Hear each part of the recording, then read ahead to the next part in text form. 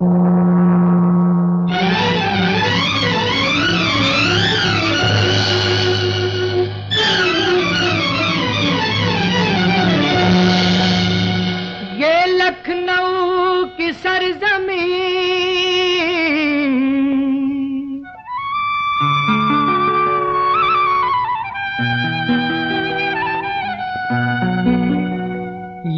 लखनऊ की सरजमी, ये लखनऊ की सरजमी, ये लखनऊ की सरजमी, ये लखनऊ की सरजमी, ये रंग रूप का चमन, ये हुस्न इश्क का वतन, यही तो वो मकाम है, जहाँ अवध की शाम है, जवा जवा हँसी हँसी, ये लखनऊ की सरजमी, ये लखनऊ की सरजमी।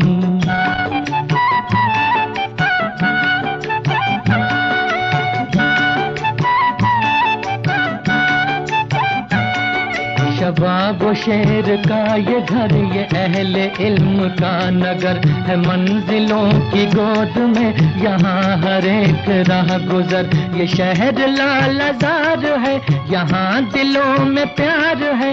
जिधर नज़र उठाइए, बाहर ही बाहर है। कली कली है नाजनी, ये लखनऊ की सरजमी, ये लखनऊ की सरजमी।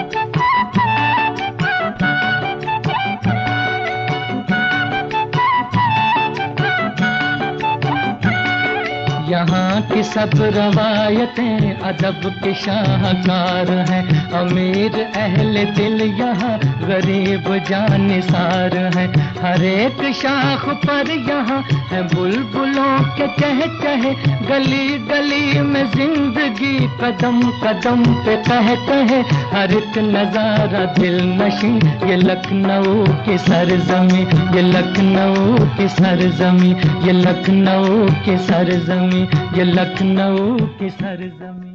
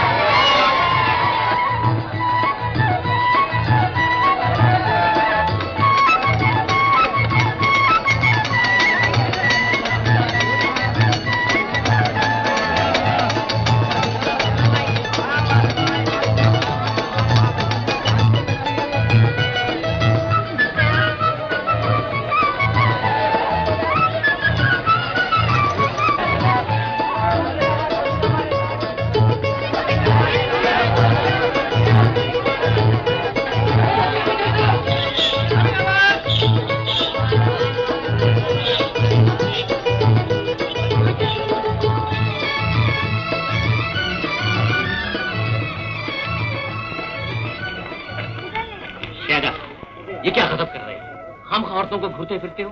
अगर किसी से झगड़ा हो गया तो मुझे भी पिटवाओगे और खुद भी पिटो। अमा नहीं यार। कम्बा तमीजन ने यही मिलने को कहा था। उसी को देख रहा हूँ। एक गिलास पानी दीजिए ये क्या मज़ाक है?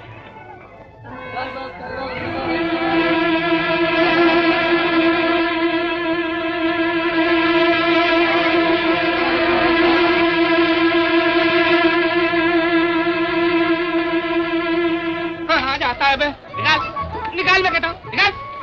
नालायक। का। अरे बेटा क्यों मारा गरीब को? इसलिए लीजिए आप किए कम से कम इतना तो होश रखा कीजिए। ला मेरी पहुँची हाय हाय इस पर खुदा की मार ये मुआ भीख मांगने के बहाने यहाँ ये कर रहा था। अरे बेटा बरकत दो जूती और लगा मेरी तरफ़ से। जाने दीजिए गरीब है बेचारा। जी तेरे बेटा।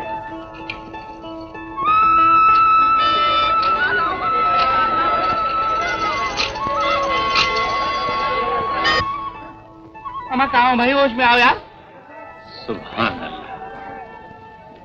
खुदा आबाद रखे लखनऊ को फिर गनीमत है। नज़र कोई न कोई अच्छी सूरत आ ही जाती है। जी? अमा शादा कुछ तुमने भी देखा? देखूँ किसे जिसने वादा किया था वो तो आई नहीं। अमा उसे छोड़ो इसे देखो इसे। खुदा की कसम क्या लड़की है। अमा देखो देखो वो रुकी। वो फिर निकाह उलटती आसने जैसे स्याह बादलों से चौधरी का चाँद निकला है। अम्मी ये पहुँचे आप ही रखिए।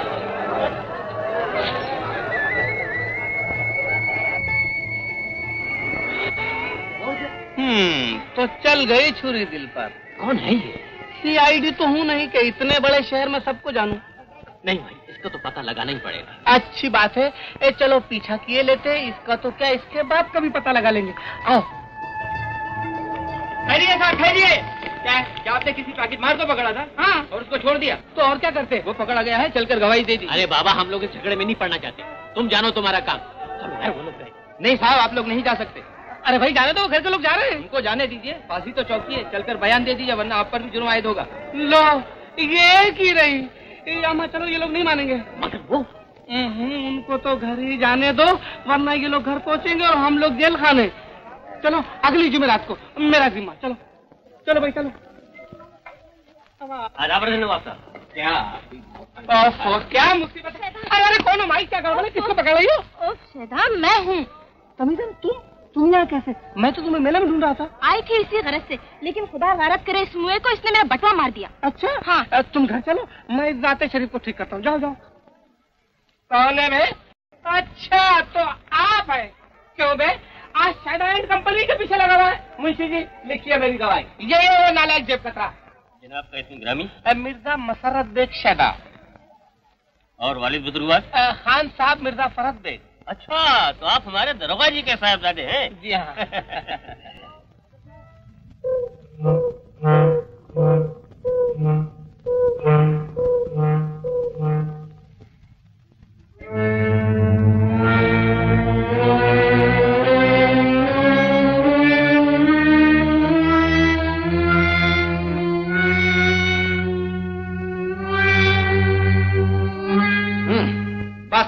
ठीक है ले मेरे जूते भी रख दे यहाँ अच्छा पूरे ढाई से मारूँगा एक भी कम नहीं क्या समझे आने दो बरखुरदार को तू अपना जूता भी रखता जा बहुत अच्छा बाबा हमारे भी जूते इसी में रख लीजिए हाँ हाँ रख दे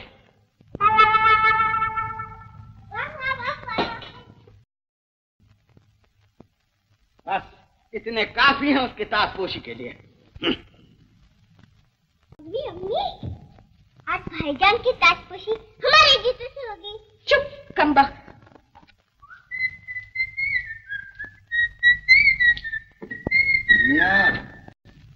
क्यों? क्या बात है अंकल? अंदर न जाइएगा। क्यों? मेहमान आए क्या पर्दा है? जी नहीं वहाँ आपकी ताजपोशी का इंतज़ाम हो रहा है। ताजपोशी? मगर आज कैसी ताजपोशी भाई? जी वो मेले वाली पुलिस चौकी से खबर आई है कि आप वहाँ जाकर बुरका पोश औरतों को घूरते हैं और हर एक की शक्ल घूम घूम कर देखने की कोशिश करते हैं। तो तो। तो क्या? यहाँ दारोगा जी बड़े गजबनाक हैं सारे मोहल्ले के जूते इकट्ठा कर रखे हैं। बिस्मिल्लाह हो गई। खबरदार भागने न पाए रमजानी पकड़ ला बदमाश को मेरे पास। जाइए मियाँ खुदा के लिए चाहिए जल तो जलाल तो साहिब कमाल तो आई बला ये बला नहीं टलेगी।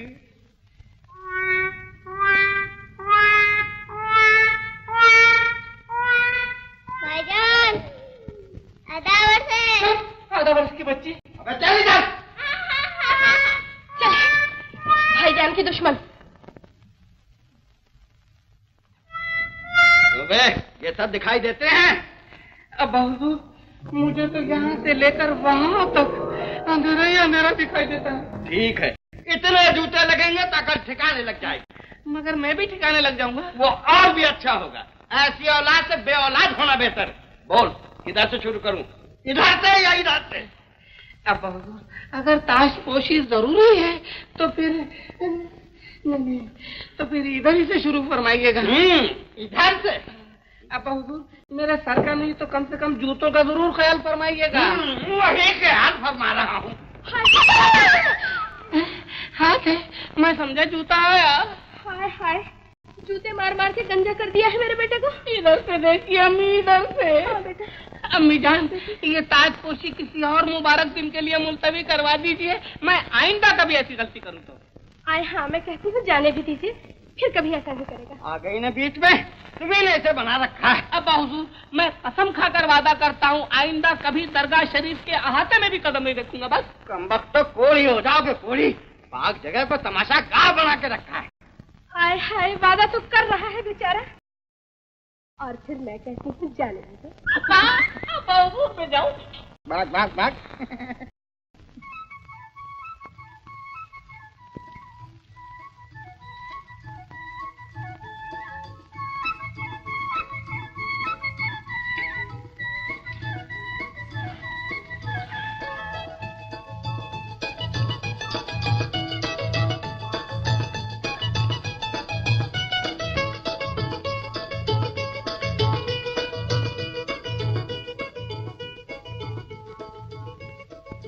अम्मी जान मैं अंदर आ सकता हूँ। प्यारे मेरा आ जाओ बेटा। अम्मी जान देखिए मैं आपके लिए क्या लाया हूँ। पीर साहब के मजार का तबर्रुक जीते रहो बेटा। तुम मेरा कितना ख्याल रखते हो। और अम्मी मैंने आपके लिए दुआ भी मांगी है कि अल्लाह आपको जल्द से हतियाब करे और इमसाल हज काबा और जियारत मदीना मुनवरा से मुशर्रफ फरमाए।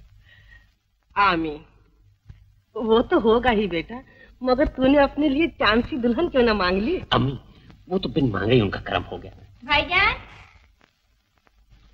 एक करम मुझ पर भी हो जाए। ये फहरिस्त देख लीजिए मेहमानों की। परसों मेरी सालगिरह है। अरे हाँ बेटा शादी के बाद मेरी बेटी की पहली सालगिरह है। निहायत धूमधाम से मनाऊँगी। देखो तो किस किस को बुलाया है? सुल्ताना बेगम जकिया खातून असरी बेगम नवा सब तो हैं। लेकिन असलम और शादा का नाम नज़र नहीं आता। हैं? क्यों? ये देखिए ना अम्मी है तो आखिर में? आखिर में नहीं बेटी इन दोनों का नाम सबसे ऊपर होना चाहिए। बचपन के दोस्त हैं मेरे बेटे के। मेरे लिए जैसे तुम दोनों वैसे वो। बल्कि शादा की वालिदा और दरोगा साहब को भी दावत दे दो। बाकी रहा असलम। मेरा सबसे अज़ीज़ दोस्त। अम्मी वो मुझे इसलिए भी ज़्यादा प्यारा है। दुनिया में अकेला है बेचारा। न बाप है, न माँ है। ऐसा ना कहो बेटे, मैं जो हूँ उसकी माँ की जगह। खुदा बख्शे तुम्हारे अब्बा मरहूम कहा करते थे। जिसको सच्चा दोस्त मिल गया, उसको सब कुछ मिल गया। अल्लाह सलामत रखे तुम तीनों को और तुम्हारी दोस्ती को। जाओ सालगिरह के दावतनामे लिखवा कर तकसीम करवा दो।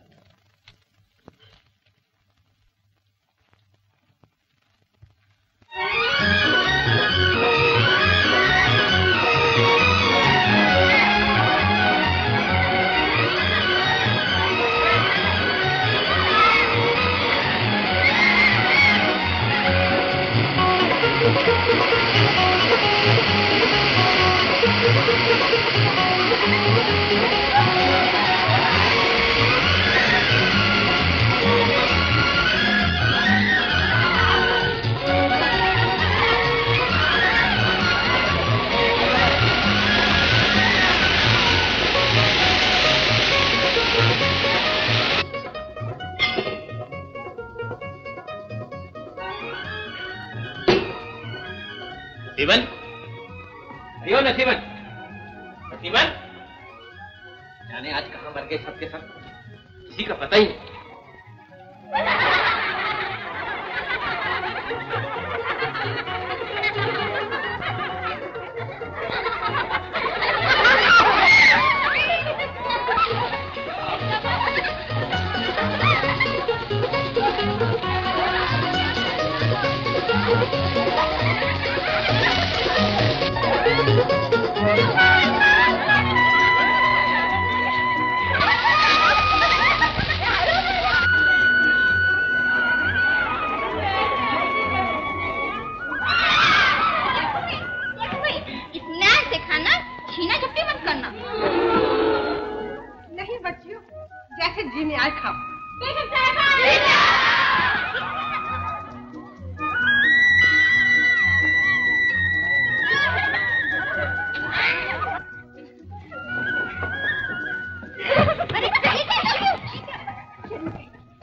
चलो इस कमरे में बैठ के आराम से खाते मैं कोई ना आएगा। चल,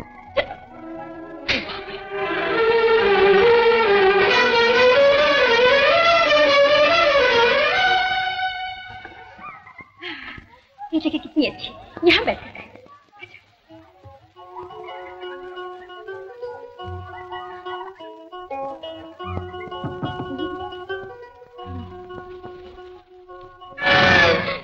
कितनी अच्छी जगह। बहुत मुलायम है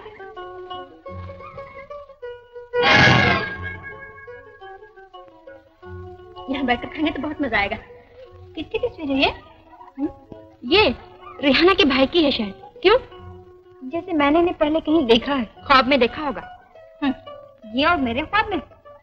हज़रत बहुत हसीन समझते हैं शायद अपने आप को जो इतने छोटे कमरे में इतनी बड़ी तस्वीर टांग रखी है। नहीं भाई शक्ल तो कुछ इतनी बुरी नहीं है। अरे हटो भी तुम्हारे लिए होगी।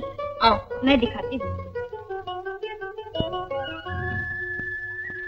सबसे पहले तो पेशानी देखो, जैसे म्यूनसिपालिटी की पुरानी बेमरम्मत सड़क ऊँची ऊँची और ये नाक, जैसे जली हुई रोटी पे भुना हुआ बैंगन। और ये मुँह मुँह तो ऐसे है जैसे लेटर बॉक्स वो खत डालने वाला होता है ना? है ऐसा ना कहो। कहीं रेहाना ने सुन लिया तो क्या कहे उसी का खा रही हो और उसी के भाई की बुराई करती हो। रिहाना, मैं कहती हूँ, अगर ये हज़रत खुद भी सामने आ जाए तो भी यही कहती। और अगर ये बिगड़ कर कुछ कहते तो ये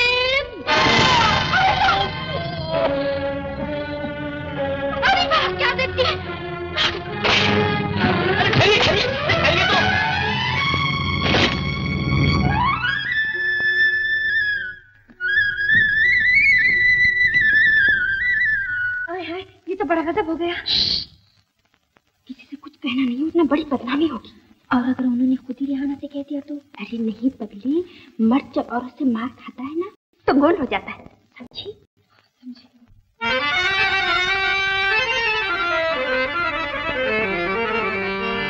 शर्मा के ये क्यों सब पर्दा नशी शर्मा के ये क्यों सब पर्दा नशी आंचल को संवारा करते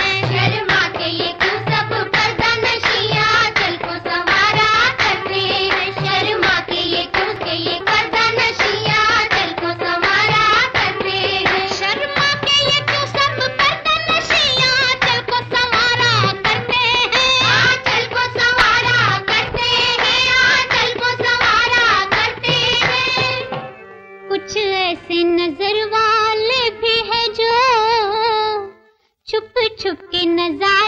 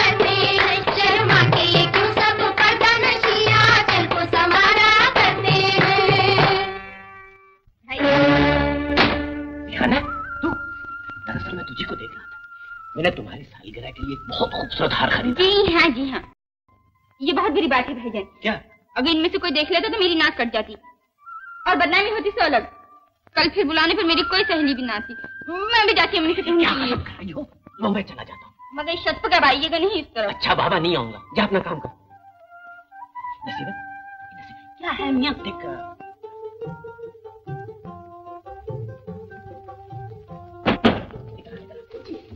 देख नसीबा मेरा एक काम करेगी। सरकार एक क्या हज़ार काम कर दूँगी?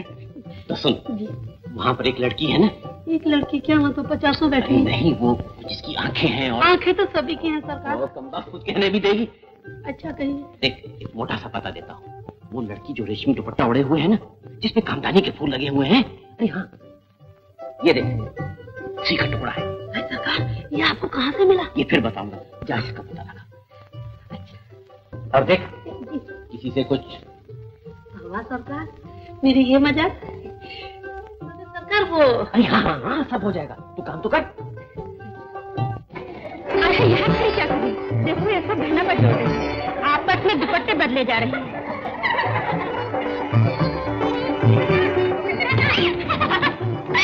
अच्छा बाबा, लाओ। ला ना, हम तुम भी बदल लें। मगर ये तो फटा हुआ है, क्या करोगे इसको ए, चलो, होगा ये लो।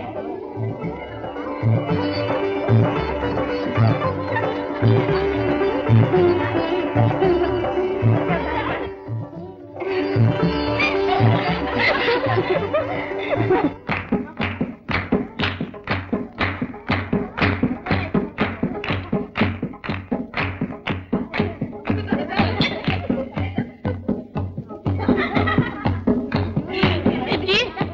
है कुछ नहीं बेगम साहब। यहाँ मर गए जी।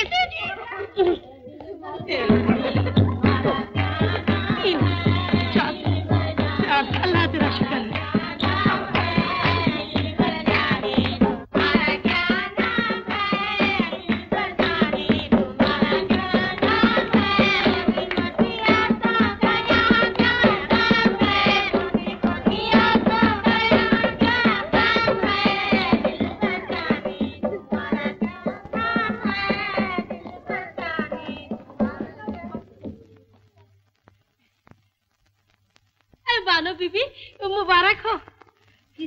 बात मुबारकबाद दे रही है नसीबत ये तो नहीं बताऊँगी मगर समझ जाइए। बिल्कुल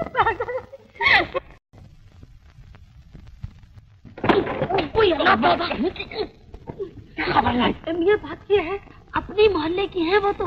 वो जो आगा नंदी साहब है ना उन्हीं की साहबजादी है। है अच्छी तरह से मालूम है ना? ओए है मियाँ इस ड्योढ़ी पर आने से पहले मैं उन्हीं क्या नौकरी करती थी खासे अच्छे ताल्लुकेदार हैं अल्लाह रखे सात जवान बेटे हैं और ये एक साहबजादी है। लड़के से अच्छी तरह से वाकफियत है ना? या क्या बात करते हैं? वो तो यूँ कहो कि काम काज की वजह से फुर्सत नहीं मिलती वरना रोज आना जाना था। सच?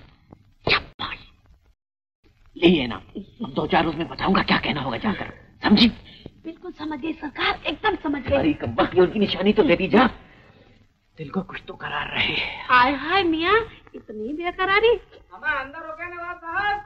शादा। आओ भाई आओ। हम अकेले ही चले? जी अकेले ही नहीं खासदार भी हाजिर है। आदाब अम्मा असलम भाई कहाँ गैब थे किन दिनों से? भाई बहुत मसरूफ मगर आज आना ही पड़ा। एक तो रेहाना की सालगिरह और दूसरे तुम्हारे मामले की खुशखबरी जो शहदा से सुनी तो सारे काम काज छोड़कर मुबारकबाद देने चला है। चलो पिघला तो ये पत्थर मुँह होकर कहीं तो तबीयत आई। ये बताओ मुँह कब मीठा करवा रहे हो? अभी नहीं यार पहले पता तो चल जाने तो। मेरा मतलब है अगले जुमेरात तक नहीं भाई अब इसकी ज़रूरत नहीं रही। वो तो रेहाना बीबी ने आप दोनों साहिबों को सलाम कहा। अच्छी बात है समझ गए। हमारी तरफ़ से जवाब में ये दे देना। और ये हमारी तरफ़। अम्मा हाँ वो बात तो रह गई। क्या कह रहे थे? हमारी याना की सालगिरह में वो भी आई हुई है। क्या कहा? हाँ हाँ यही तो नसीबन से पूछ रहा था कि तुम लोग आ गए। ये भी मालूम हो गया कि मोहल्ले में आगा नन्नी साहब जो हैं उन्हीं की साहबजादी हैं वो। ये देखो उनकी निशानी। बड़े उस्ताद हो यार। कैसे मिला ये दुपट्टे का टुकड़ा? अरे हाय मियाँ ये मत पूछो। क्यों? और दिल पे चोट लगी क्या? अम्मा पीठ पे भी चोट दे गई है। क्या कह रहे हो? अरे अरे अरे अरे हमारा क्या लहरदार चोट है? सालिम ने क्या बल खा के मारा होगा? बिल्कुल नागन की तरह। क्या कर रहे हो? हमारा बिल्कुल ही थर्ड क्लास आशी को यार। जरा सी चोट पे हाय मातम शुरू कर दी। मुझे देखो। सिर्फ़ तोप का गोला ही आजमाया नहीं गया वरना तमीजन ने दुनिया की कोई चीज़ उठाने रखी और सब तय गए। हयादार होते तो डूब मरते। वाकई। छोड़ो इस बात को।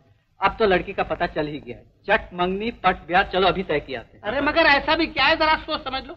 अगर उन लोगों ने रिश्ते से इनकार कर दिया तो? अमा क्या बात करते हो शहदा? असलम की बात तुम्हारी जूतियों के तुफैल सारे लखनऊ में कोई नहीं टाल सकता। क्यों भाई? क्या कहते हो? चले कल सुबह? अम्मा हाँ यार।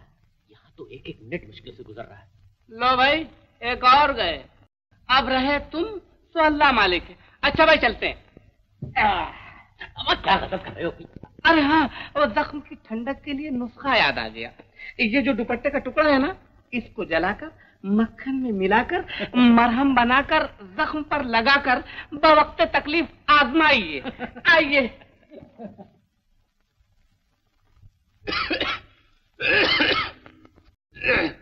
मेरा मतलब है तालीम वालीम क्या है साहबजादे? जी एम ए पास है। माशाल्लाह माशाल्लाह।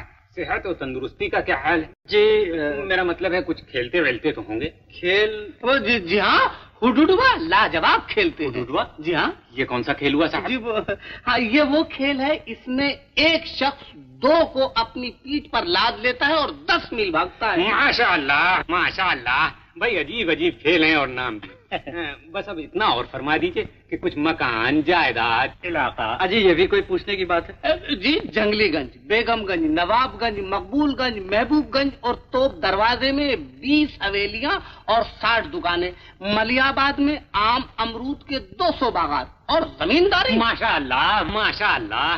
अच्छा तो अब इस रिश्ते को करीब करीब तय समझिए। मैं जरा किबला अब्बा हुजूर से मशवरा ले लूँ क्योंकि उनका फैसला ही आखिरी फैसला होगा। आपके अब्बा हुजूर? जी हाँ वो अपने अब्बा हुजूर के वहाँ गए हुए हैं। यानी कि आपके अब्बा हुजूर अपने अब्बा हुजूर के यहाँ गए जी हैं। हाँ माशाल्लाह माशाल्लाह। तो हम लोग एक हफ़्ते बाद आए? बस बस बिल्कुल ठीक है। आधा बस असलम मियाँ मालूम होता है पूरा खानदान आबे हयात पिए हुए है जल्दी से निकल चलिए। हाथ दे दीजिए।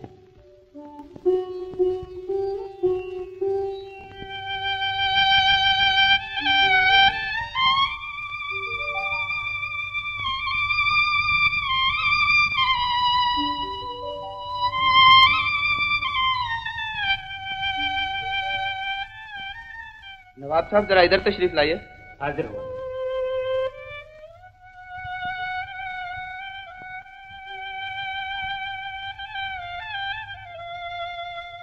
देखिए आप लोगों का मजहबी ख्याल हज के बारे में क्या है मैं बिल्कुल नहीं जानता। मगर डॉक्टर की हैसियत से मेरी राय नहीं कि यह हज को जाए। इस मरतबा बीमारी ने इन्हें बहुत कमज़ोर कर दिया है। खसूस दिल को आराम की सख्त ज़रूरत है। अगर हो सके तो आइंदा साल के लिए मुलतवी करवा दीजिए। या यूँ किया जाए कि इनकी बजाय किसी और को भेज दिया जाए। क्योंकि बीमारी और मजबूरी की हालत में हज बदल भी हो सकता है। जी। मेरा मतलब है इनकी बजाय कोई दूसरा हज कर आए तो शरा के मुताबिक हज इन्हीं का होगा। मेरी राय में तो यही ठीक है। हज़रत अगर कहीं आप ही इस नेक काम के लिए तैयार हो जाए तो मैं आपका बहुत शुक्रगुजार होऊँगा और वालिदा साहिबा भी। जी मुझे कोई एतराज़ नहीं मगर मगर क्या? फरमाइए। मैं जरा बेगम साहबा से कुछ बातें करना चाहता हूँ। बड़े शौक से। अंदर पर्दा है आवाज़ दे लीजिए। मैं जरा डॉक्टर साहब के साथ जाता हूँ। जी। आइए डॉक्टर साहब।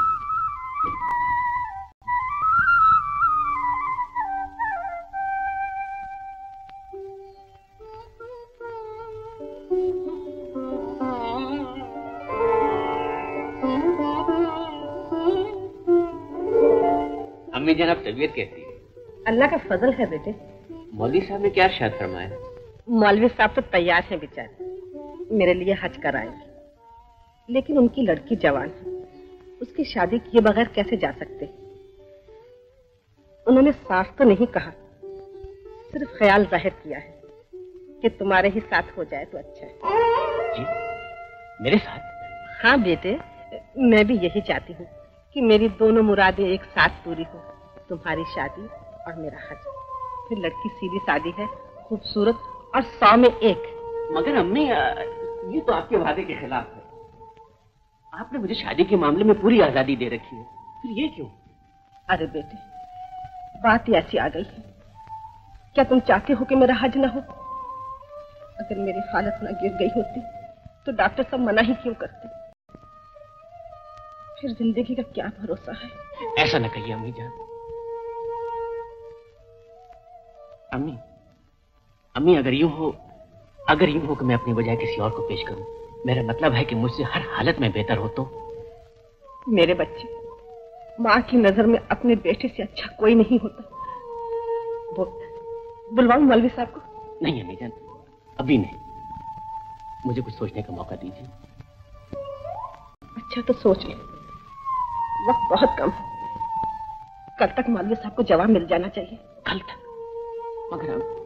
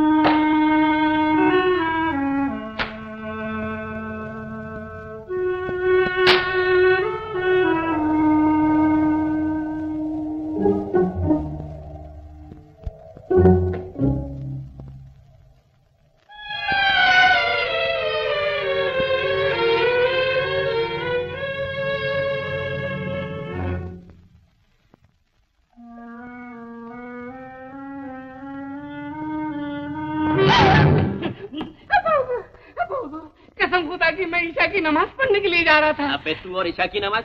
बोल कहाँ जा रहा था? मैं तुम हाँ, हाँ, अरे भाई अपना एक ही तो ठिकाना है। कभी गनो कहाँ? लेकिन आप इस वक्त यहाँ? मैं मैं तुमसे कुछ पूछने आया। क्या? शादी करोगे? शादी?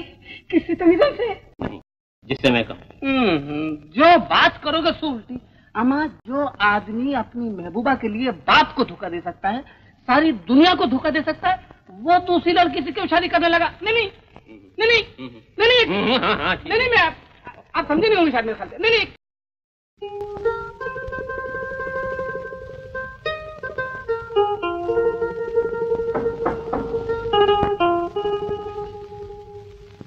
इस वक्त कौन हो सकता है?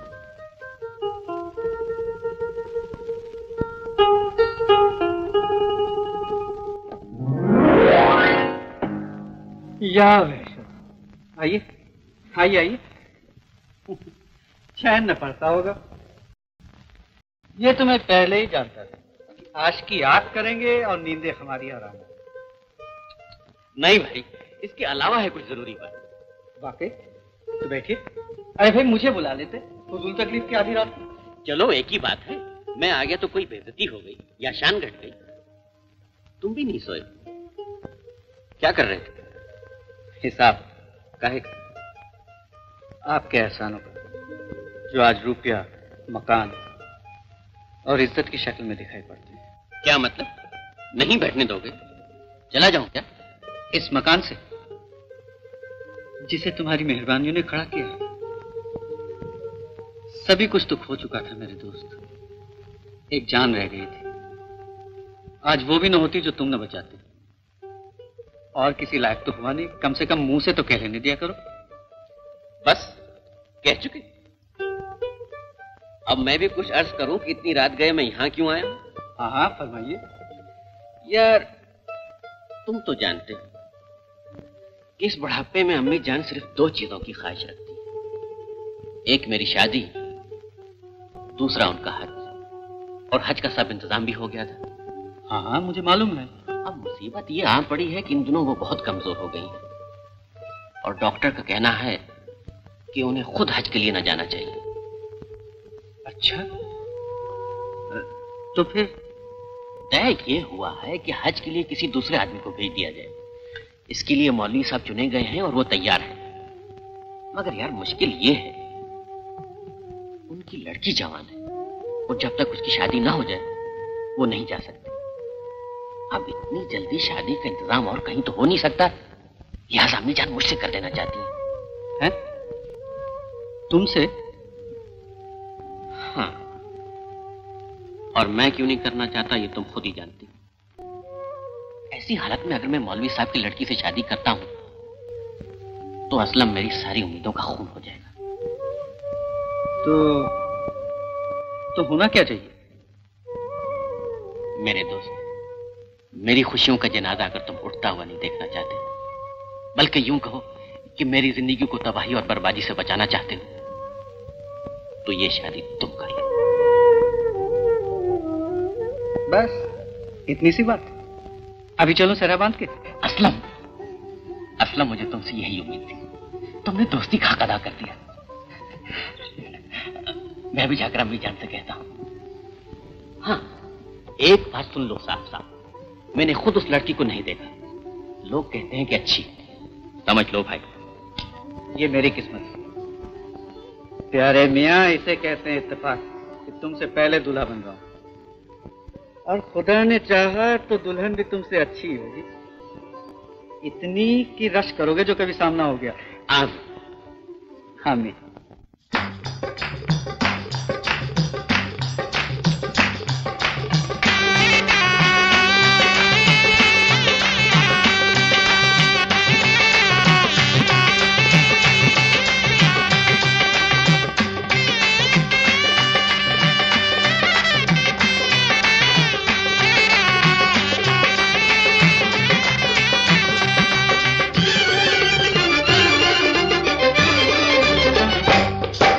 मेरा यार बना है दूल्हा और फूल खिले हैं दिल के। अरे मेरी भी शादी हो जाए, दुआ करो सब मिलके। मेरा यार बना है दूल्हा और फूल खिले हैं दिल के। अरे मेरी भी शादी हो जाए, दुआ करो सब मिलके।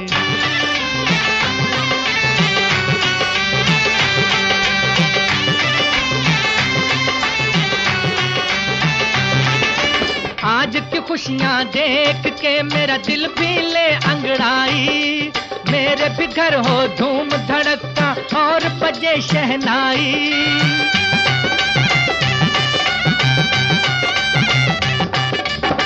आज की खुशियाँ देख के मेरा दिल भी ले अंगड़ाई।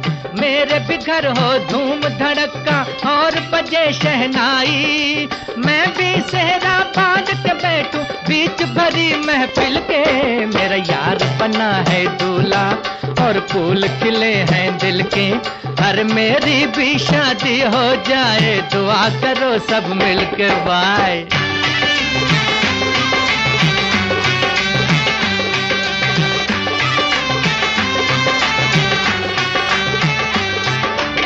है मेरे मालिक, मेरे दाता, मेरे पालनहार।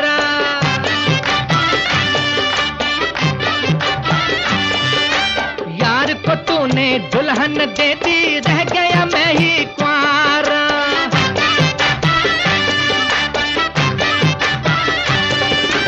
ऐ मेरे मालिक, मेरे दाता, मेरे पालनहारा। यार को तूने दुल्हन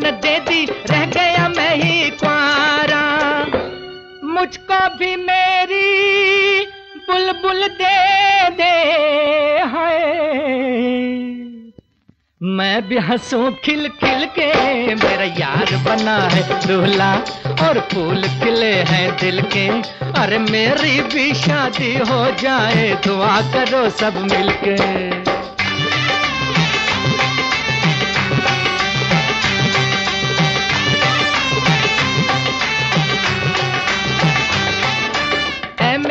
हमदम रहे हमेशा, तेरी सलामत जोड़ी।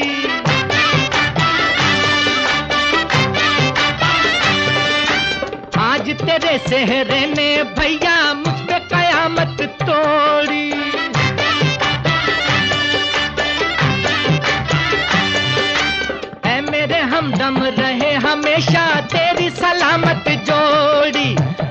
तेरे सेहरे में भैया मुझ पे कयामत तोड़ी। मेरी भी आँखों में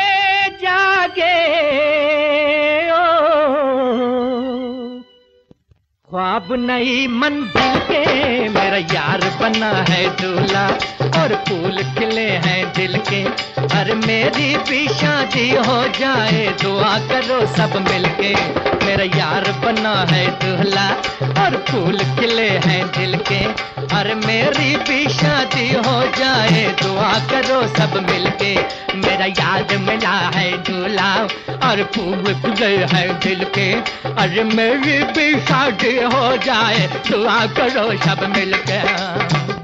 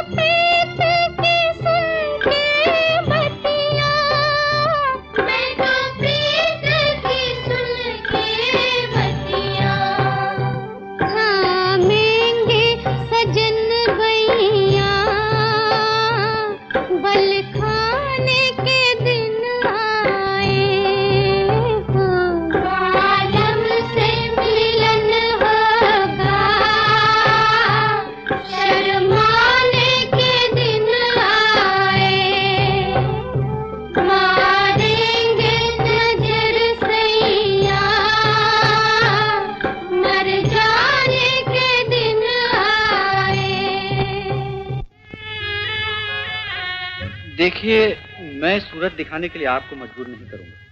ये अपने नसीब और आपकी मर्ज़ी पे छोड़ता हूँ। मगर खुदा के लिए मेरी शक्ल ज़रूर देख लीजिए। मैं काना हूँ। मुँह पे चेचक के ये बड़े बड़े दाग हैं। रंग अफ्रीका के हबशियों से ज़्यादा काला है। और सामने के ये दो दांत बिल्कुल हाथी के दांतों की तरफ़ बाहर निकले हुए हैं।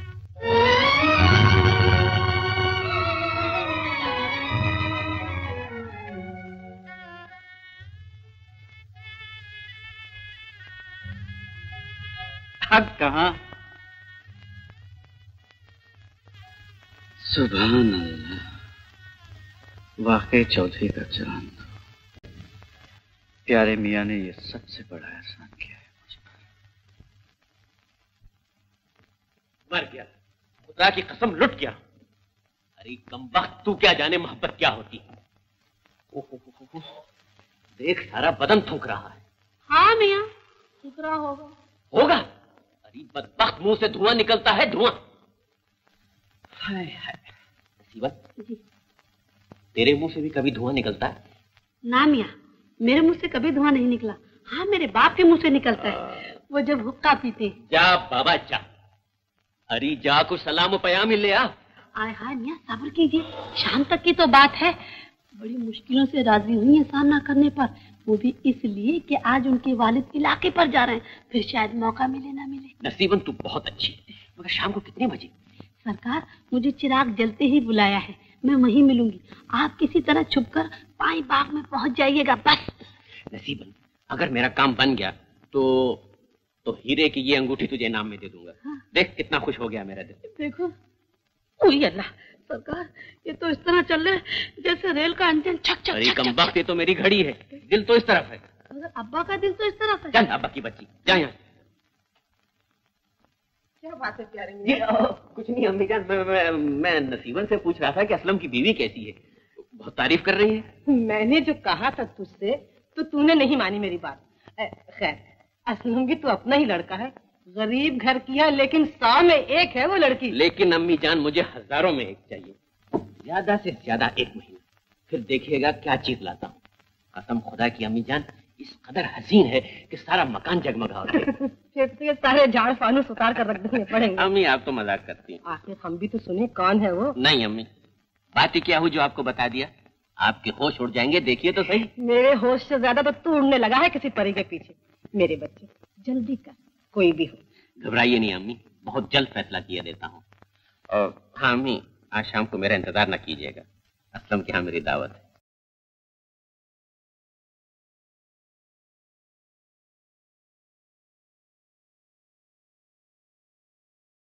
मेरे नसीब ने ये काम लाजवाब क्या कि तुमको लाख हसीनों में इंतखाब किया। हम्म? हाँ अल्लाह चाहिए भी। साहब आ गए। हमा कहा हो भाई? आइए मुबारक हो मुबारक हो। बीवी मुबारक हो भाई बीवी मुबारक हो। क्यों यार दुल्हन पसंद आई? भाई तुम्हारे एहसानों से सुबह दोस्त तो क्या होता? है रोज बरोज दबता ही जा रहा हूँ। खुदा की कसम क्या चीज़ अता की है तुमने जी चाहता तुम्हारे हाथ चूम जिसने मुझे तोहफा दिया है। अमा हटो ये क्या भाई यार और भाई मुझे तो ये पेशानी चुमा दो। आ हा हा कुर्बान जाऊँ इस मुकद्दर पे। जो चीज़ सूझी सो उल्टी। हमा तोहफा देने से पहले देख तो लिया होता। बल्ला हज़ारों में एक है अमा मेरी वाली लाखों में एक है। शायदा ने देखी है पूछ लो इसे। हाँ भाई दिल के आने के ढंग निराले हैं। मेरी तमीजन करोड़ों में एक है। तमीजन? अमा छोड़ो ये बातें। भाई जल्दी से खाना खिला दो एक ज़रूरी काम से जाना है। खाना लग गया हजूर चलो भाई चलो। मुसीबत अल्लाह जानता है। मेरी तबीयत बहुत और खाती है। कैसे सामना होगा? एक बात भी तो नहीं निकल सकेगी मेरे मुँह से अरे बीबी, डर किस बात का? मैं जो हूँ, साथ खड़ी रहूँगी नहीं बाबा, मुझसे ना हो सकेगा। तू मना कर दे जाकर। और हाय बीबी, क्या गजब कर रही हो? वो तो दिन से ही उधार खाए बैठे थे। बावर्ची खाने के पीछे जो पेड़ है ना, उसी के नीचे अंधेरे में खड़े हैं बेचारे।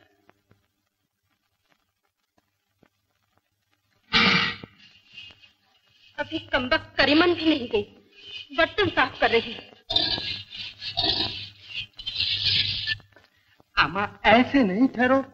ए अब ठीक है। वल्लाह क्या जच रहे हो? अमा शायदा शायद इसी का नाम मोहब्बत है शायद का। एक आग सी है सीने के अंदर वाकई? लो हो गया इलाज अब तो आग ठंडी हो गई। कौन है बदतमीज? हाय अल्लाह ये क्या हुआ? बीबी जी बीबी जी बीबी जी। बावर्ची खाने के पीछे चोर खड़े हुए हैं। अरे यूँ ही तरह वह में करीमा निकल यहाँ से। ला हौल बिला कुव्वत मेरी राय में तो अब चले ही चलो। सवेरा हो गया। नहीं नहीं ऐसा खतरनाक करो। अम्मा फिर ऐसे उल्ली तुम जाओगे भी कैसे? कह देंगे तुम्हारी खादमा की गलती है। अच्छी बात है तो बैठे रहिए धुनी रमाए के। अगर गोरी आए गई तो हुआ नहीं तो हुआ।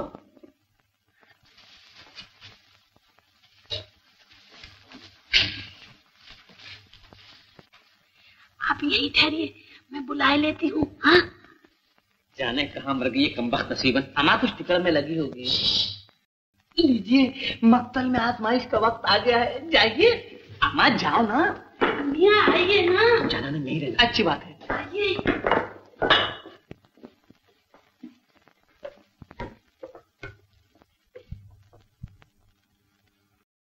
ये है? वही तो नहीं है।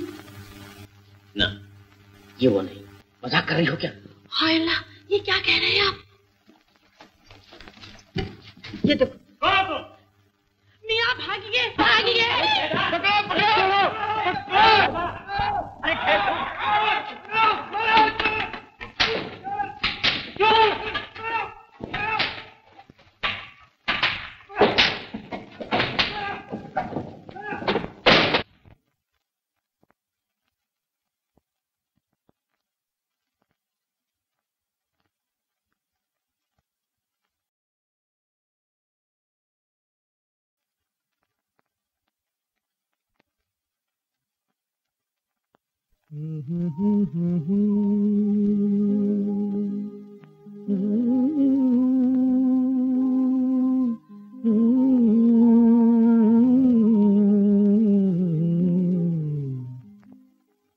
चौदवी का चाँद हो या आफताब हो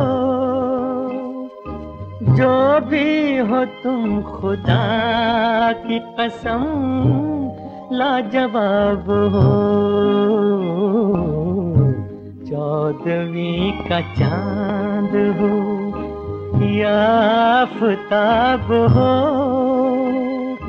जो भी हो तुम खुदा की कसम, लाजवाब हो। चौदवी का चाँद हो।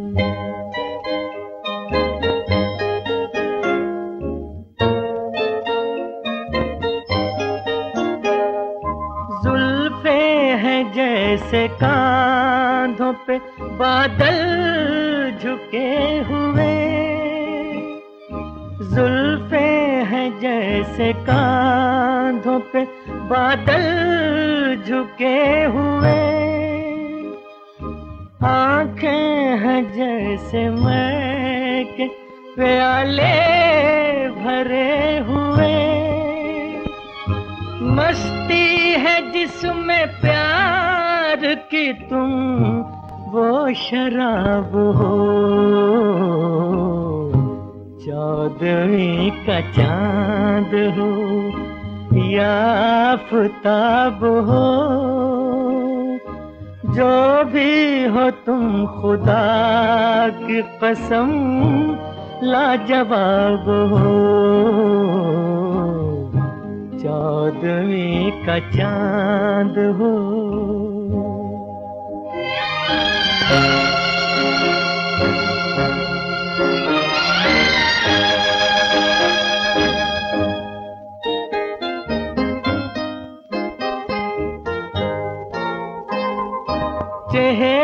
है जैसे झील में हंसता हुआ कमल। चेहरा है जैसे झील में हंसता हुआ कंवल, या ज़िंदगी के साज पे छेड़ी हुई गज़ल। जाने बाहर तुम किसी शायर का ख्वाब हो। चौदवी का चाँद हो। या आफताब हो, जो भी हो तुम खुदा कसम लाजवाब हो। चौदवी का चाँद हो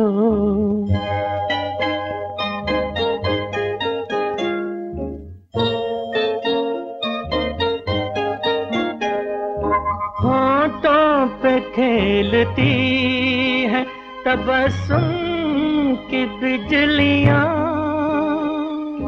होठों पे खेलती है, तबस्सुम की बिजलियाँ। सजदे तुम्हारी राह में करती है कहकशां दुनिया हुस्न इश्क का तुम ही शबाब। हो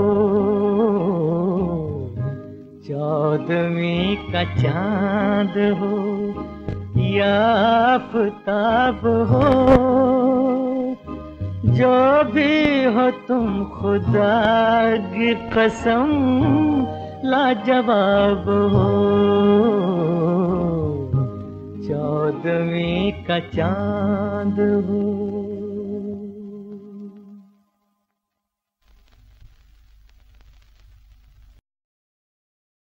शायदा मानना पड़ेगा इसमें तुम्हारी भी गलती है। तुम्हें साथ ले जाने के बजाय उन्हें रोकना चाहिए था। अमा अल्लाह किस मरदूत को पता भी हो? बताया तक नहीं। तुम्हारे यहाँ से खाना खा के निकले और सीधे वहाँ पहुँचे। मामला दिल्ली में तय करके सारे शाम नसीबन को भेज ही चुके थे।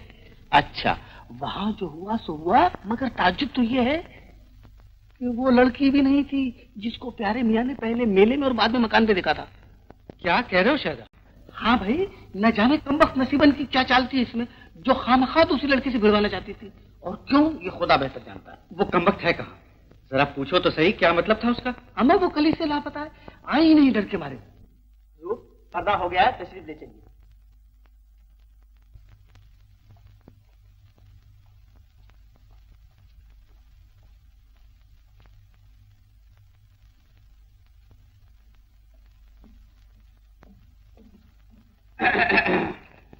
मैंने कहा आली जान नवाब प्यारे मियाँ साहब अंदर आ सकते हम लोग? आइए हुजूर आइए। तशरीफ़ लाइए। क्यों? तबीयत तो ठीक हो गई होगी। और दर्द भी कम हो ही गया होगा। ये चोट कैसे लगी शायदा आधा मैं पूछती हूँ ये चोट कैसे लगी? जी वो चोट? हाँ हाँ हाँ आओ देखा ना ताओ सर पर पाँव रखकर भागे। आगे आगे ये और पीछे पीछे में और मेरे पीछे चार लटबाज हाय अल्लाह कहीं डाका डालने गए थे क्या? ए, जी नहीं चाची जान ये एक किस्म का खेल है। सुल्तान आलम हुजूर नवाब वाजिद अली शाह को ये खेल बेहद पसंद था। मगर ये कौन सा खेल है निगोड़ा जो रात ही में खेला जाता है? जी नहीं दिन में खेला जाता है। हाँ अगर फुर्सत ना हो तो रात में भी खेल सकते हैं। ऐसी कोई पाबंदी नहीं है। ना बाबा ना। आज से इनका रात को निकलना बंद। जी हाँ चाची। मेरी भी यही राय। तुम भी बड़े नामाकूल हो असलम। इसकी बीवी मैंने तुम्हें दे दी और तुम इसके लिए बीवी नहीं ढूंढ सकते। कान खोल कर सुन लो। मैं तो इसी चाँद में इसकी शादी करूँगी। अगर तुम लोग ढूंढ लाए तो खैर वरना जहाँ मेरा जी चाहेगा कर दूँगी। एक ना सुनूँगी।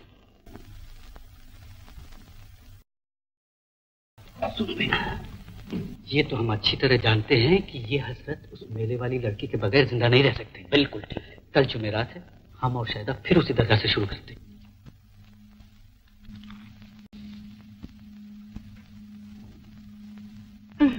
ये तो मैं पहन चुकी हूँ। उस रोज वो देख भी चुके हैं। कहते थे कयामत बर्पा कर रही हो। रखो अलग इसे।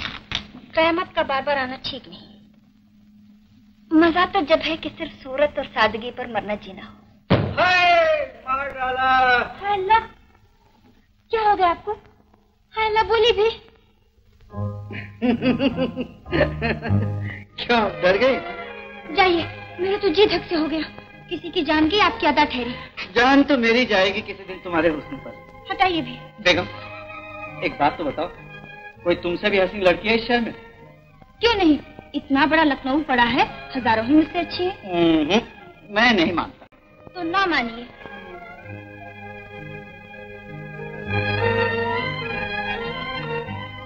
ये आज कहाँ की तैयारी हो रही है? पीर साहब की उर्स में जा रही हूँ। अम्मी जान ने बुला भेजा है। आपको कोई एतराज़ तो नहीं? बिल्कुल नहीं ज़रूर जाओ। मैं भी वहीं जा रहा हूँ। बड़ा लुत्फ रहेगा। हम्म अब समझी कि हसीन लड़की की पूछगछ क्यों हो रही थी। मगर अब क्या करेंगे पूछकर मैं तो आपके सर मन दी गई हूँ। दरगाह जाना भी फजूल है और किसी की तलाश भी। तुम्हारे सर की कसम आज तक नहीं किया। आज जा रहा हूँ। वो भी किसी खास वजह से। अच्छा शोहदों और गुंडों की तरह शरीफ औरतों को ताकते झांकते न फिरेगा? अरे वाह आज ही तो ताक झाक का मौका मिलेगा। क्या मतलब? सारे दोस्तों से तुम्हारा सामना करवा दूँगा और इतना तंग करूँगा कि वहाँ से भागते ही बनेंगे। मेरी जूती मैंने नकाब डाले रहूँगी। अच्छा देख लेना। यूँ ही सही।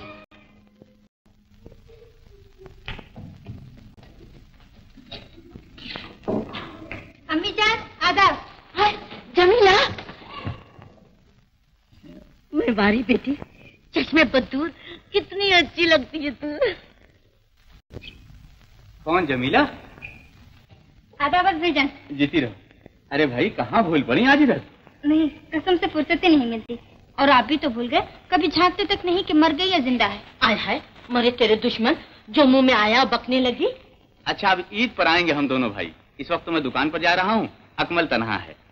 आधा में जीते रहो बेटा। आदाब भाईजान चलिए अम्मी तैयार हो जाइए। कल तो हम उर्स में जा नहीं सके आज आपके साथ चलेंगे।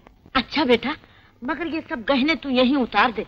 वरना कम वक्त कितने चोर गिराकट वहाँ होते हैं। देख उस मरतबा पहुँची जाते जाते रह गई। खैर वो तो घरी की थी। ये तमाम जेवरा ससुराल के हैं। एक भी गया तो नाक कट जाएगी। लोग कुछ का कुछ न समझ बैठे। अच्छा अम्मी। बस छोटी छोटी चीज़ें रहने दो। और किसी फकीर टोले को नज़दीक आने ही न देना। मैं बुलाती हूँ कुलसुम रुकैया और उसकी माँ को।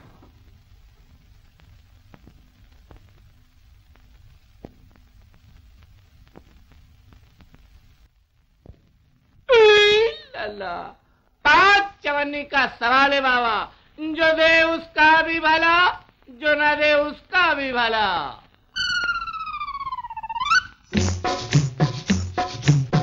ये दुनिया गोल है, ऊपर से खोल है। ये दुनिया गोल है, ऊपर से खोल है। अंदर जो देखो प्यारे, बिल्कुल पोलम पोल है। ये दुनिया गोल है, ऊपर से खोल है। अंदर जो देखो प्यारे, बिल्कुल पोलम पोल है।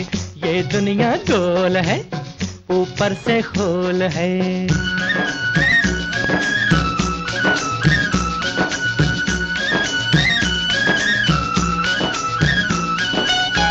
जितने हैं दुनिया वाले, फिरते हैं झोली डाले। कोई मुराद मांगे, कोई औलाद मांगे। कोई मोहब्बत चाहे, कोई हुकूमत चाहे। कोई तकदीर मांगे, कोई तस्वीर मांगे। एक फ़ोटो का है बाबा, मैं किधर है? कोई तकदीर मांगे, कोई तस्वीर मांगे। सबके गले में भैया अरमानों का ढोल है। ये दुनिया गोल है, ऊपर से खोल है। अंदर जो देखो प्यारे, बिल्कुल पोलम पोल है। ये दुनिया गोल है, ऊपर से खोल है।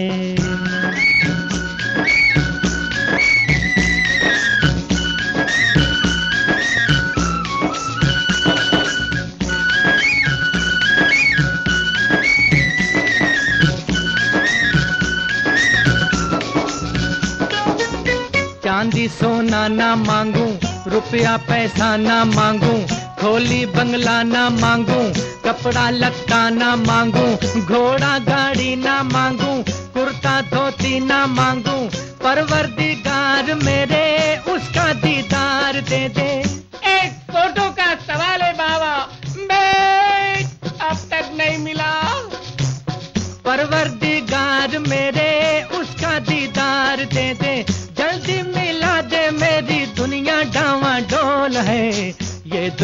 गोल है ऊपर से खोल है।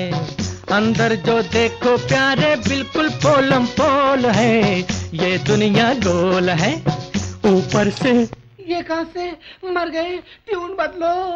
मेरे मौला बुला लो मदीने मुझे। लगे मौत के आने पसीने मुझे।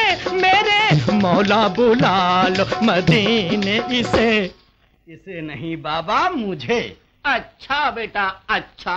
लंबी उम्र हो। ऊपर से खोल है अंदर जो देखो प्यारे बिल्कुल पोलम पोल है।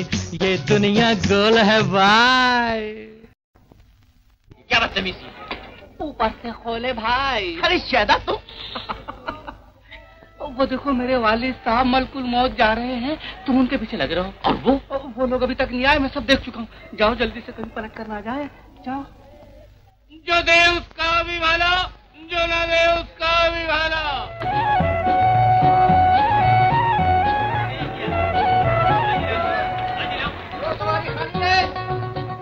अम्मी अम्मी चलिए पहले फूल तो ले ले।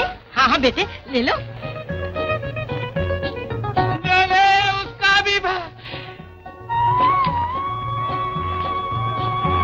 भैया आठाने के फूल दे देना।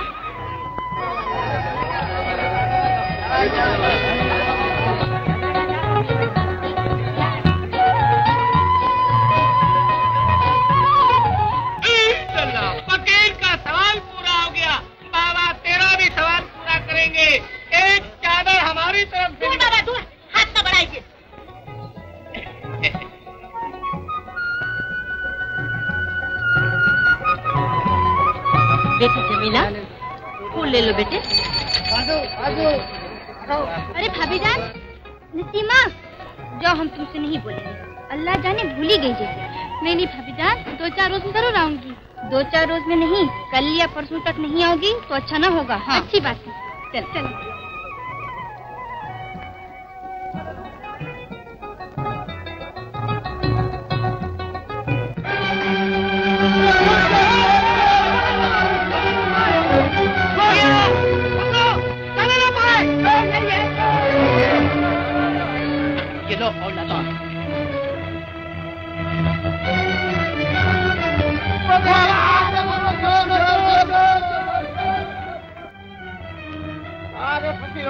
गिरफ़्तार करके पुलिस चौकी में ले आओ। सबकी तलाशी लो भागो। चल अबे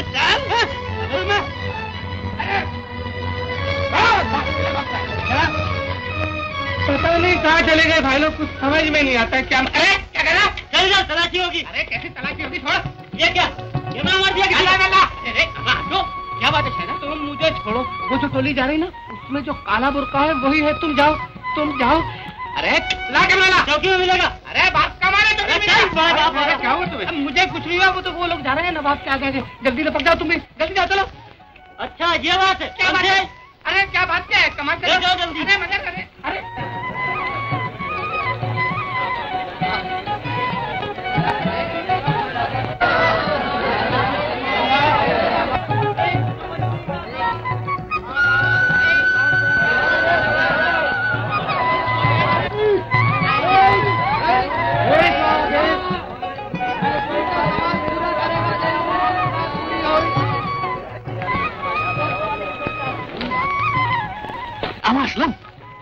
अभी अंदर गई हैं सब।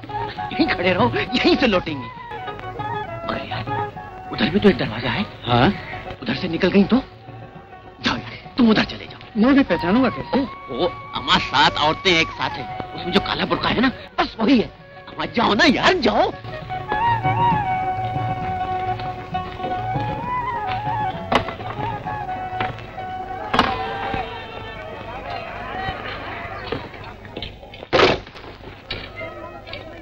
जो दे उसका भी भला जो न दे उसका भी भला। अरे बाबा आप नालायक हो। इस अल्लाह वाले फकीर को क्यों पकड़ के लाए कुछ तो खुदा का खौफ करो। बच्चा अगर इन गधों को जरा भी खुदा का खौफ होता तो ये बेहुदा हरकत नहीं करते। कुछ परवाह नहीं। हमने इस गधे को माफ़ किया। अच्छा बच्चा हम चलता है। अबे जाता कहाँ है? हुजूर ये कोई पीर फकीर नहीं ये तो पक्का चार से बीस बदमाश है। ये देखिए। हम्म ये बात है। अरे। जी हाँ खानदानी गिराकट है उल्लू का पट्टा। राम सिंह देखिए ना हुजूर किसी का कैमरा मार दिया है। खोल कर देखता हूँ इसमें भी कुछ छिपा रखा अरे अरे लाइट लग जाए क्या करते हो? कमाल है। अबे हट। अब्बा। क्या उल्लू को पट्टे? अब्बा। अब्बा इस आठ नंबर। मेरा मतलब है ताजपोशी का मुस्ताक तो मैं हो ही चुका हूँ। लेकिन ये प्रोग्राम घर पर ही रखा जाए तो ठीक होगा। खामोश! रुपये। बता ये भेज क्यों बदल रखा? ये भेज ये भेज। हाँ वो इसलिए कि बहुत से चोर उचक के पुलिस वालों का भेज बदल कर चोरी करते हैं। उनको पकड़ना चाहता था। तू बकता है। बकता नहीं अब्बा मैं सच कहता हूँ मैं तो उस नालायक को पकड़ लेता। अगर ये मुझे न पकड़ लेता आप कहे तो मैं अब भी सबूत पेश करता हूँ मैं उसको अभी पकड़ कर लेकर आता हूँ। अरे खड़े मुँह क्या देख रहे हो? मुझे इस पर कोई भरोसा नहीं। कहीं भाग न जाए जाओ उसके पीछे।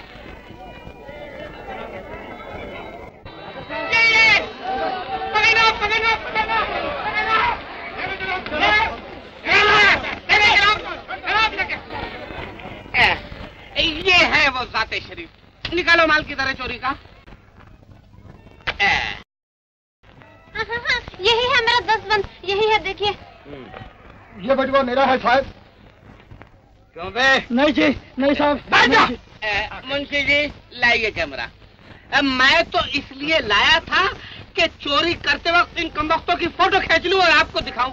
लेकिन इन्होंने सब बना बनाया काम बिगाड़ दिया। इधर आ बेटे इधर आ। देखा मुंशी जी? क्या कहने हैं? शाबाश। आ, वल्लाह शाबाशी की क्या ज़रूरत है? आप ही का तो बेटा हूँ। अरे मुसर्रत अब कहाँ चले बेटा? यूँ ही जरा एक मामला और देखना है। मेरा मतलब है इसी टाइप का। नहीं नहीं तो बैठ मेरे पास। आइए बैठिए मुंशी जी हाँ जी। मेरे बेटे के लिए एक गिलास ठंडा शरबत बहुत मंगवाइए आए तो क्या गरम मंगवाऊं? न ठंडा न गरम उधर हो रहा है मामला नरम। नीचे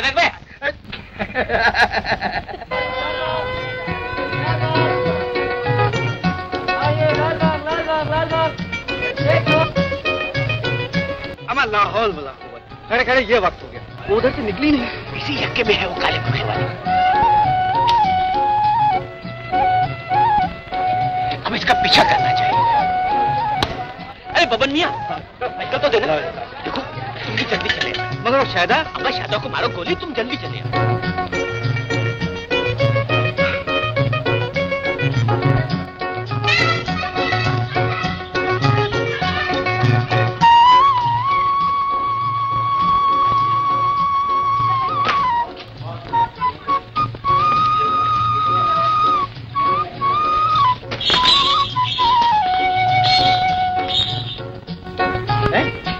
अम्मा यहाँ क्यों खड़े हो? इसी घर में तो गई है वो।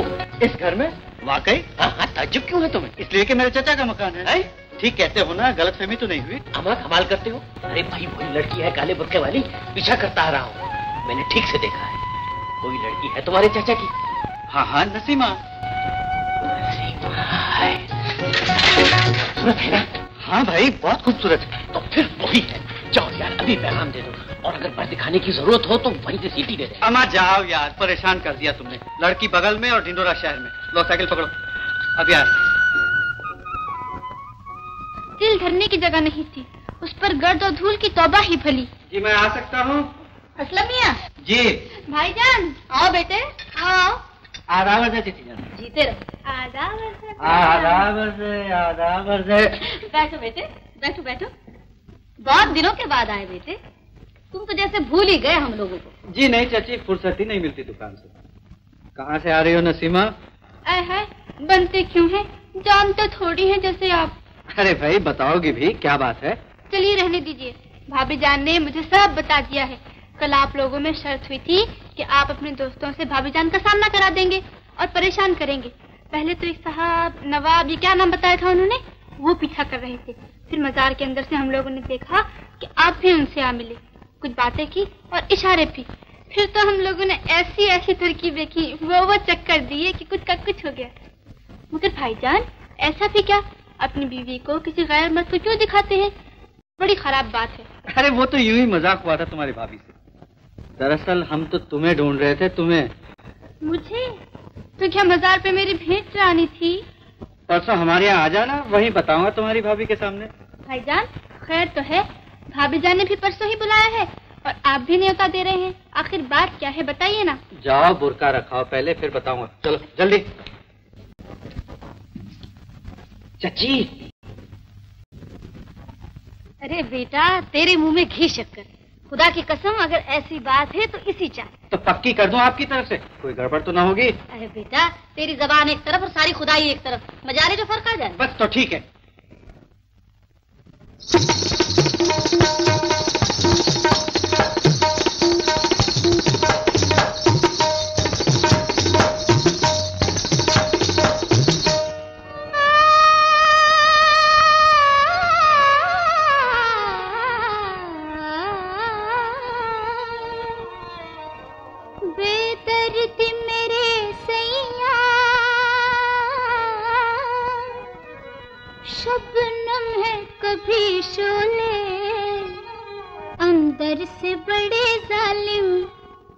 बाहर से बड़े बोले अंदर से बड़े जालिम बाहर से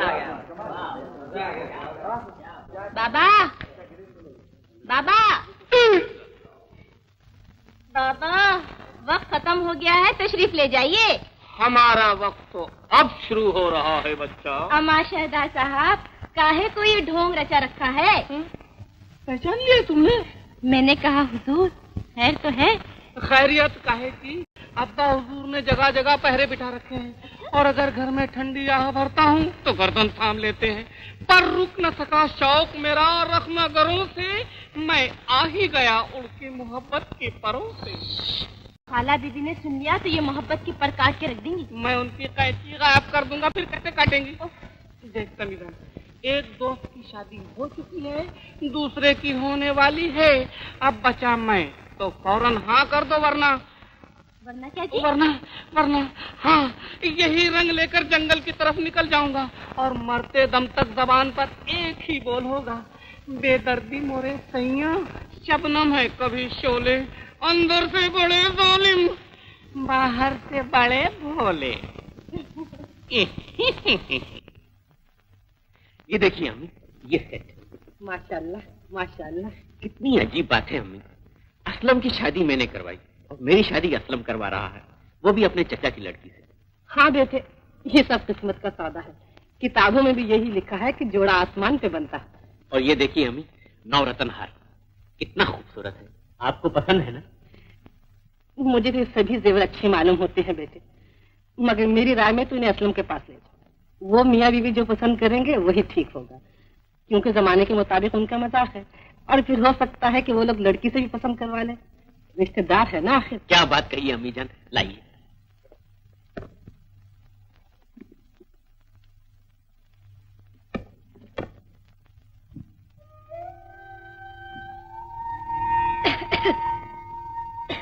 ऐ है शुभ्रातन खैर जरा निगोड़ी सर पे बैठे और तू खाक उड़ाई जा रही है। दीदी जरा भर के लिए आप मर्दाने में चली जाइए। तू रुक तो पहले।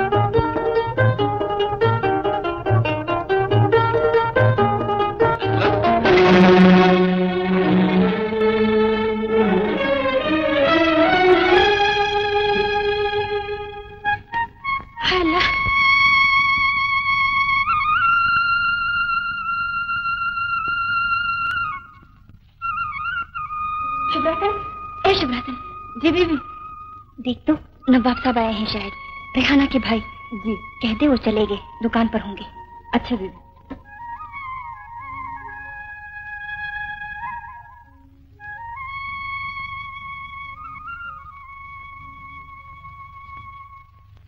जी ये कहा है कि मियाँ यही कि मियाँ दुकान तशरीफ़ ले लें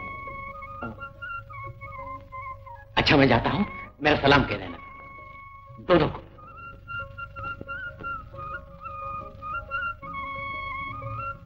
दोनों को?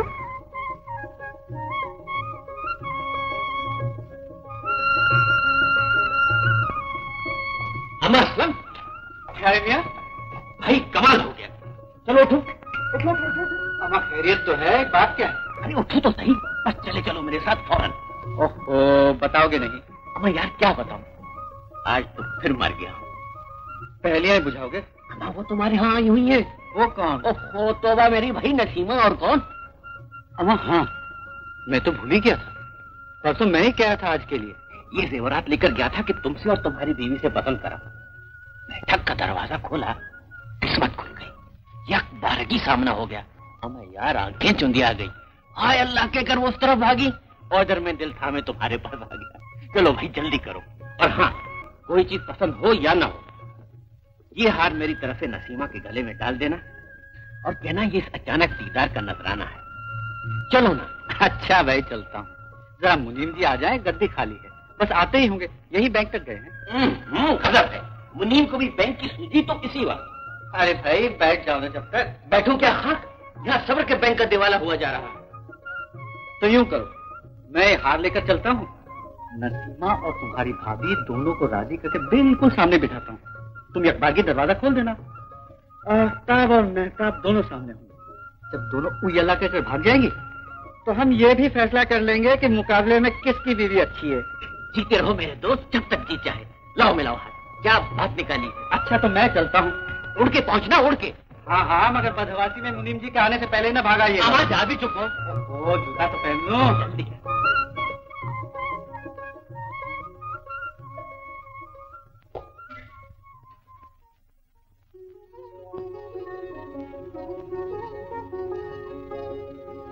बेगम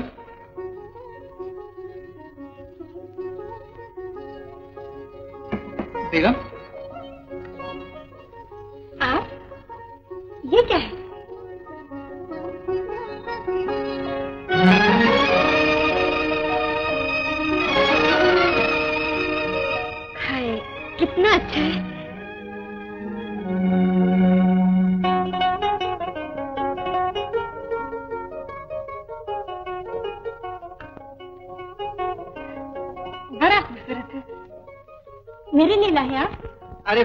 है तो तुम्हारे लिए भी आ जाएगा।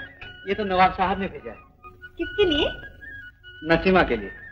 हम्म, मगर वो है कहाँ? पहले वो तो पसंद कर ले। वो तो अभी नहीं आए कब से इंतज़ार कर रही हूँ। क्यों मज़ाक कर रही हो? हुँ? नसीमा? ए नसीमा। अल्लाह जानता है झूठ नहीं। वो अभी नहीं आए। हाँ अलबत्ता आपके नवाब साहब आए थे। बेधड़क उन्होंने दरवाज़ा खोल दिया और मेरे सामने हो गए। हाय अल्लाह कहकर मैं तो भाग गई बड़े खराब हैं वो। तुम्हारा सामना हो गया उनसे? हाँ मगर इसमें मेरी क्या खता? कमरे में शुभरातन झाड़ू दे रही थी तो मैं मर्दाने में चली गई तो नवाब साहब ने नसीमा को नहीं तुमको देखा है। तुम उन्हें पहचानती हो? हाँ इसी तरह एक धोखा हो गया था। उनकी बहन की सालगिरह थी। उस दफ़ा तो मैंने ऐसा कस के बेट उनकी पीठ पे मारा था ऐसा कस के मारा था कि बस रे बस। हमारा क्या लहरदार चोट है। साली ने क्या बल खा के मारा होगा बिल्कुल नागन की तरह। मगर ये बात तुमने पहले ही क्यों नहीं बताई? हाँ मकाबिला ज़रूरत किसी गैर मर्द का नाम या ज़िक्र मेरे जबान पे आता है क्यों? क्या सोच रहे हैं आप? देख लिया तो क्या हुआ? कोई इतनी बुरी तो नहीं मैं? अंधी हूँ लंगड़ी हूँ कि लोग आपका मज़ाक उड़ाएँगे? ये बात नहीं। तो फिर क्या है? बताइए ना। पहले जरा पानी ले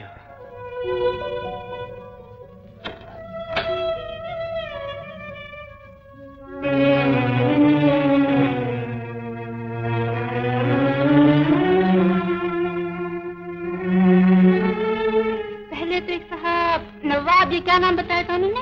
वो पीछा कर रहे थे। फिर मजार के अंदर से हम लोगों ने देखा कि आप भी उनसे आ मिले। कुछ बातें की और इशारे भी। फिर तो हम लोगों ने ऐसी ऐसी तरकीबें की वो वो चक्कर दिए कि कुछ का कुछ हो गया।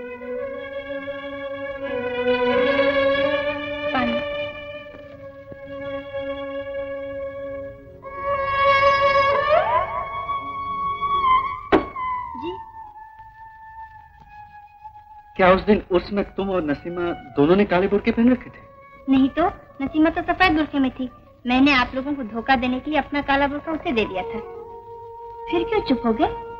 क्या कोई शर्त थी आप लोगों में कि वो मुझे नहीं देख सकते और यूँ देख? गए ये बदतमीजी और ओछापन है उनका। बेगम नवाब के खिलाफ कुछ न कहना।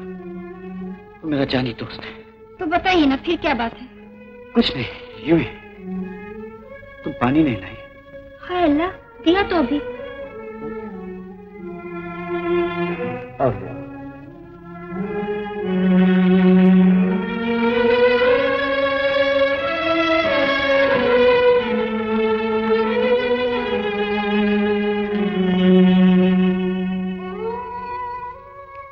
लीजिए। आपको मेरी वजह से तकलीफ़ है मैं माफ़ी चाहती हूँ। अब कभी मर्दानी कमरे में नहीं जाऊँगी। पगली। अच्छा मैं दुकान जाता हूँ। और ये हार नसीमा है तो उसको दे दो? अब तो तुम ही रख लो।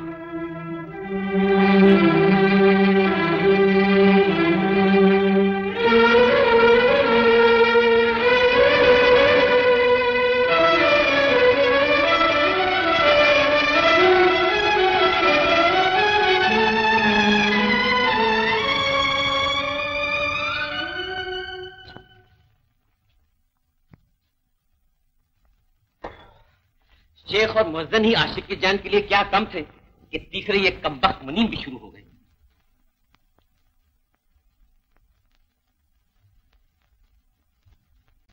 अमाफा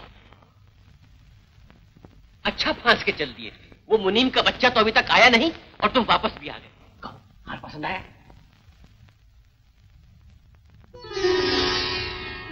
आई, हाय, भाई वाह की कसम ये काम किया है तुमने। हो ना आखिर? किस दिन काम आओगे? भाई, सच पूछो तो तुम्हारे और शायदा के बलबूते पे आशिकी की थी मैंने। वरना मेरे लिए तो मौलवी साहब की सीधी सारी लड़की काफ़ी थी। दिल के बहलाने की सूरत हो गई। अमा लाखों में क्या, करोड़ों में एक है। देखो देखो, कैसी आँखें। दिलो ईमान छीनने वाली। ये नाक, ये नक्शा ये तबस्सुम। ये क्या? एक लड़की ये भी है। अमा हटाओ। इसे तो पाँव भी न दबाओ। ये है ये। मेरी जान। मेरा ईमान। मेरी ज़िंदगी। मेरा सब कुछ।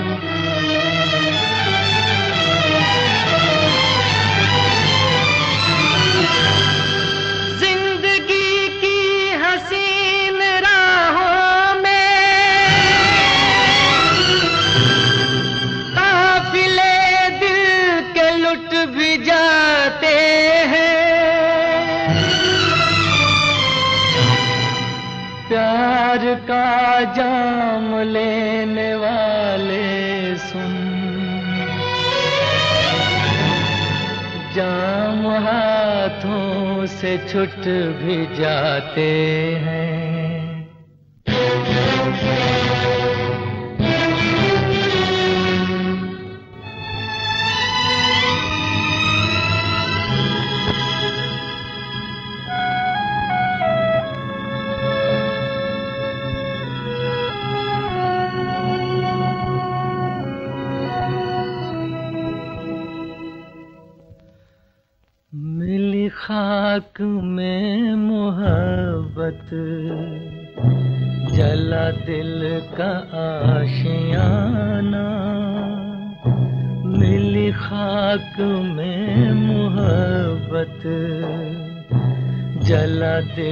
का आशियाना, जो थी आज तक हकीकत, वही बन गई फसाना। मिली खाक में मोहब्बत, जला दिल का आशियाना।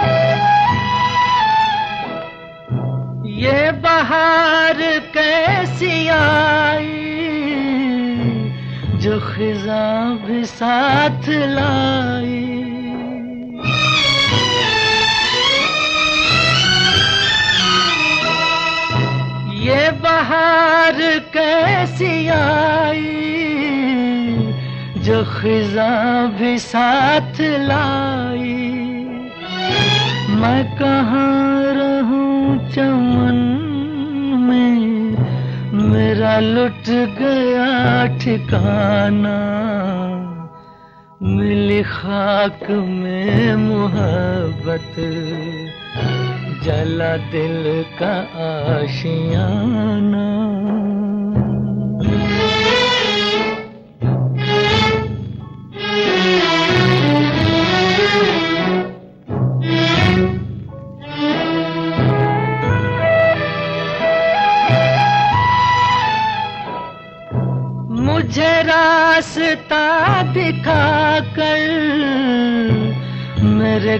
कारवां को लूटा।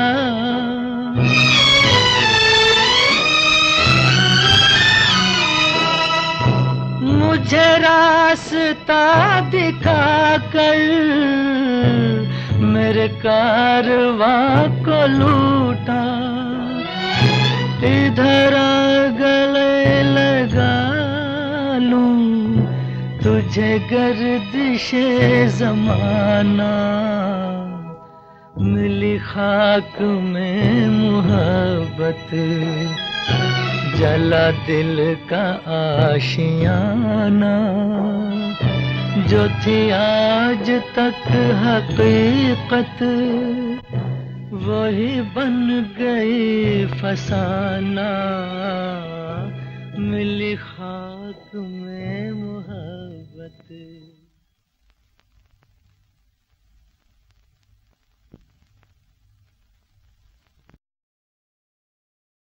तू जलाल तू साहिब कमाल तू ऐ वाला उठाल तू जल तू जलाल तू साहिब कमाल तू अरे डरने की कोई बात नहीं है नाश्ते के लिए बुला रहे हैं। नाश्ता? जूतों का? आ गए सुबह सुबह मोहल्ले भर के। पागल हुआ है? अंडे पराठे हलवा। ठहरिए ठहरिए। पहले ये बताइए दिन है या रात? अरे गधे दिखाई नहीं देता सूरज निकला हुआ है। किधर से? पूरब से। झूठ। अव्वल तो ये सूरज नहीं और अगर सूरज है तो पूरब नहीं। वरना वालिद साहब और मुझे बुलाए नाश्ते पर। और फिर हलवा पराठा अंडे। अरे वो तुझसे बहुत खुश है। और अब तो तेरी नौकरी भी ठीक कर रहे हैं। तबीयत तो नहीं ठीक करेंगे ना? नहीं नहीं नहीं। अच्छी बात है। आपका जिम्मा कहीं ऐसा ना हो बिना नोटिस ताजपोशी शुरू हो जाए। चल तो। जल तू जलाल तू। साहब कबाल तू। बिस्मिल्लाह। बिस्मिल्लाह। बदतमीज। अम्मी को तो आ जाने दे। जल तू जलाल तू साहब कमाल तू आई बला को डाल तू। जल तू जलाल तू साहब कमाल तू आई बला को डाल तू। जल तू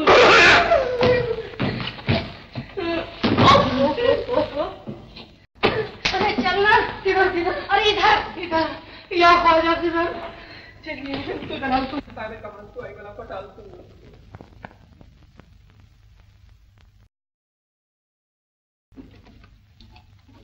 अदब से बहुत आओ आओ मुसर्रत मियाँ आए।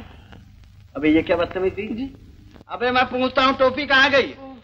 टोपी सुबह निहार में दूध पी रहा था उसमें शायद गिर गई। बालाई समझकर खा गया। देख ली अपने बेटे की शरारत। अबे मैं तुझे अच्छी तरह से जानता हूँ। बैठ जा। बैठ जा मैं कहता हूँ। अम्मी जान आप बीच में आ जाइए मैं अपने अड्डे पर ठीक हूँ। ले बेटा अब बिस्मिल्लाह कर। मैंने कहा मुसर्रत मियाँ जी। सुपरिंटेंडेंट साहब तुमसे बहुत खुश हुए। जब मैंने तुम्हारी वो सिपाही पकड़ने वाली कारगुजारी उन्हें सुनाई पूछने लगे कहाँ तक पढ़ा है? मैंने कहा जी बीए पास है कानून पढ़ रहा है। बड़ी मेहनत कर रहा है बेचारा। अजी जब तो सुपरिंटेंडेंट साहब ने कहा कि फ़ौरन ले आओ मैं उसे दारोगा बना देता हूँ। मेरा बेटा थानेदार बनेगा? अरे थानेदार का बेटा थानेदार नहीं तो क्या चौकीदार बनेगा। मुझे थानेदारी मंजूर है, लेकिन एक शर्त पर। क्या? वो ये कि मुझे दस सिपाही दे दिए जाए, ताकि वो कम वक्त बदनसीब, जिन्होंने मुकद्दस और मुबारक वलियों की दरगाहों को तमाशा गाह और अयाशी की जगह बना रखा है, पकड़ पकड़ कर इतने दुर्रे लगाऊँ कि खाल तक खिंच जाए। अबे, नेकी और पूछ पूछ इतना काम करेगा तो मुझसे पहले इंस्पेक्टर बन जाएगा।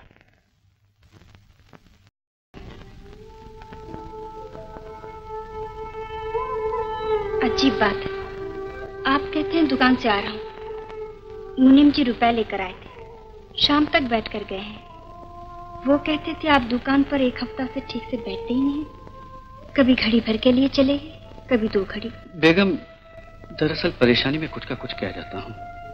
मगर परेशानी क्या है आपको? परेशानी? बात यह है कि एक अनमोल हीरे के सौदे में धोखा या नातजुर्बेकारी से कुछ ऐसी गलती हो गई है कि इस मामले को अभी न सुलझाया गया तो एक न एक की तबाही लाजमी और यकीनी है। आपका क्या ताल्लुक है इससे? यूँ समझ लो बैठ जा पहले। आओ आज तुम्हारे मुँह से फाल खोलता हूँ। जैसे तुम कहोगी वैसे ही होगा। देखो दो दोस्त हैं बड़े गहरे। जैसे हम, प्यारे मियाँ या शायदा। उनमें से एक दोस्त को एक हीरे की तलाश थी और वो हीरा अनजाने में उसे मिल भी रहा था। मगर वो हज़रत ये न समझे कि ये वही हीरा है। और पत्थर समझकर दूसरे दोस्त के हवाले कर दिया। उस दोस्त को जब पता चला कि ये तो वही हीरा है, जिसके लिए मेरा दोस्त जान देता है और उसकी तलाश में अब भी सर करता है तो बताओ उस दोस्त का क्या फ़र्ज़ है जिसके पास हीरा है? बस यही फैसला मुझे करना है। तुम मेरी बीवी हो तुम्हें भी तो हक है। तुम ही फैसला कर दो। मेरी राय में तो दूसरे दोस्त को वो हीरा पहले दोस्त को वापस कर देना चाहिए। यही मैं भी चाहता था। मगर ये देखकर कि दूसरे दोस्त ने उसकी शक्ल बदल दी है। अंगूठी में चढ़वा लिया है। अपने जिस्म जान की जीनत बना रखा है। ये फैसला करते हुए जरा झिझकता हूँ। दोस्ती के मानी है कुर्बानी। और कुर्बानी जितनी बड़ी होगी, दोस्ती का दर्जा उतना ही ऊँचा होगा। इसके अलावा अगर आपने कोई और फैसला किया तो आप पर हर फ़ायदा।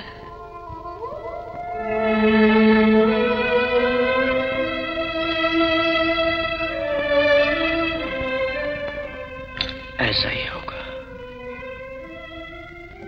इंशाल्लाह।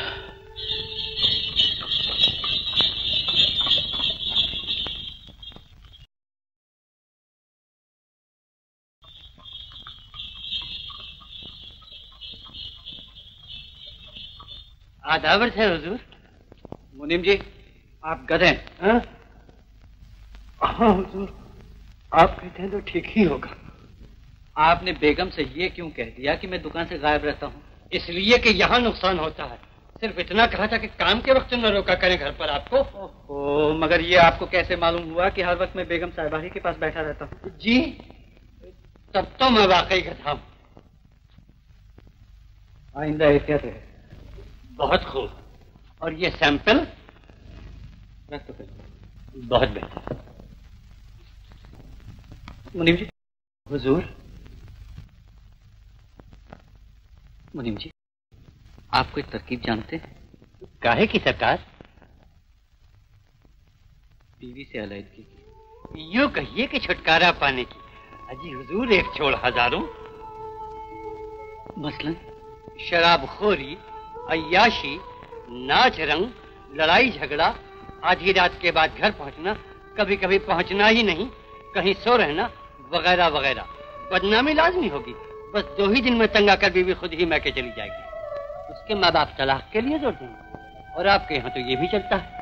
मगर ये सब आप किसके लिए पूछ रहे हैं, सरकार?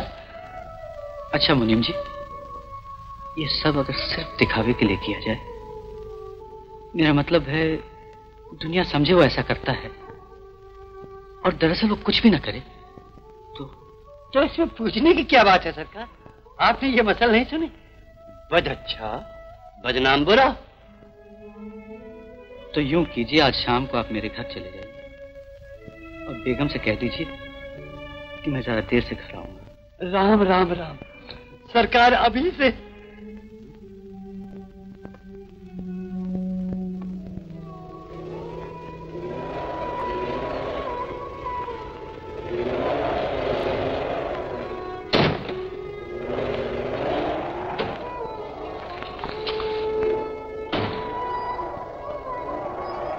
आंधी आ रही है शायद जाने असलम मियाँ कहाँ रह गए? दस बज गए। क्या हमेशा रात को इतनी देर से आते हैं? नहीं तो अम्मी आज ही कोई खास बात हो गई है। कारोबार के सिलसिले में बैठ गए होंगे कहीं। फिर भी तुम्हारा क्या ख्याल है? कहाँ होंगे वो?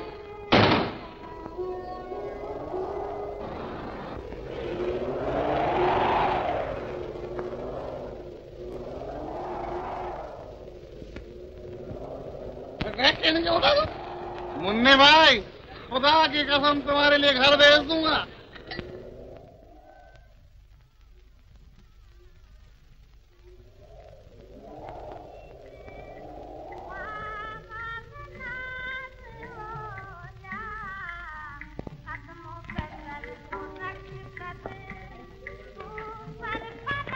आदाब हृदय हुजूर क्या सोच रहे हैं बंदा परवर?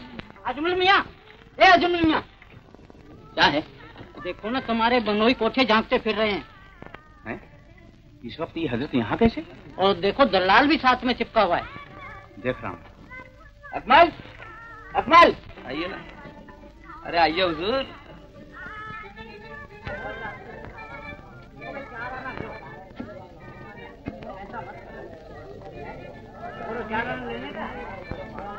बदले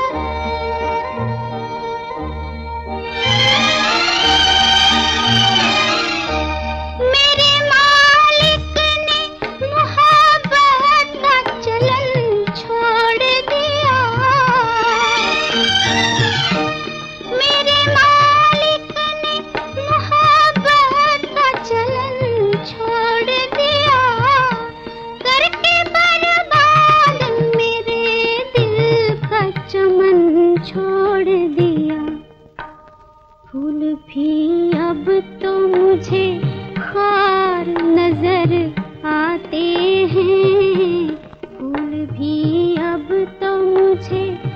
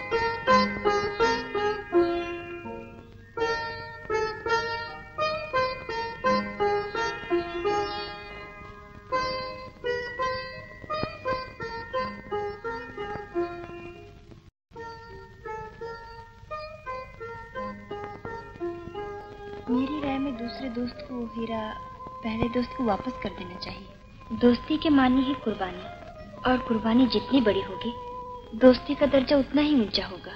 इसके अलावा अगर आपने कोई और फैसला किया तो आप पर हर्फ आएगा।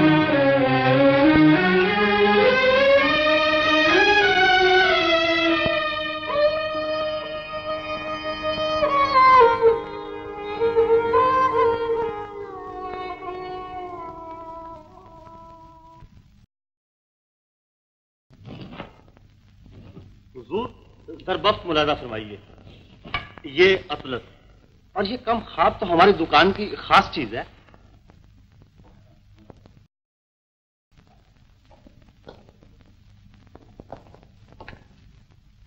आदाबर से। अरे आदाब है आओ भाई आओ। आप लोग इस वक्त जाइए कपड़े यहीं रहने दीजिए। जो पसंद आएँगे उनके दाम मिल जाएँगे। बहुत अच्छा हुजूर। आदाब आदाब आहा! भाई शादी की तैयारियाँ हो तो यूँ। निगाहें रोशन अली हो गई। मगर तुम क्या हो गए हो? फौज में भर्ती हो गए हो थानेदार बन गए हो।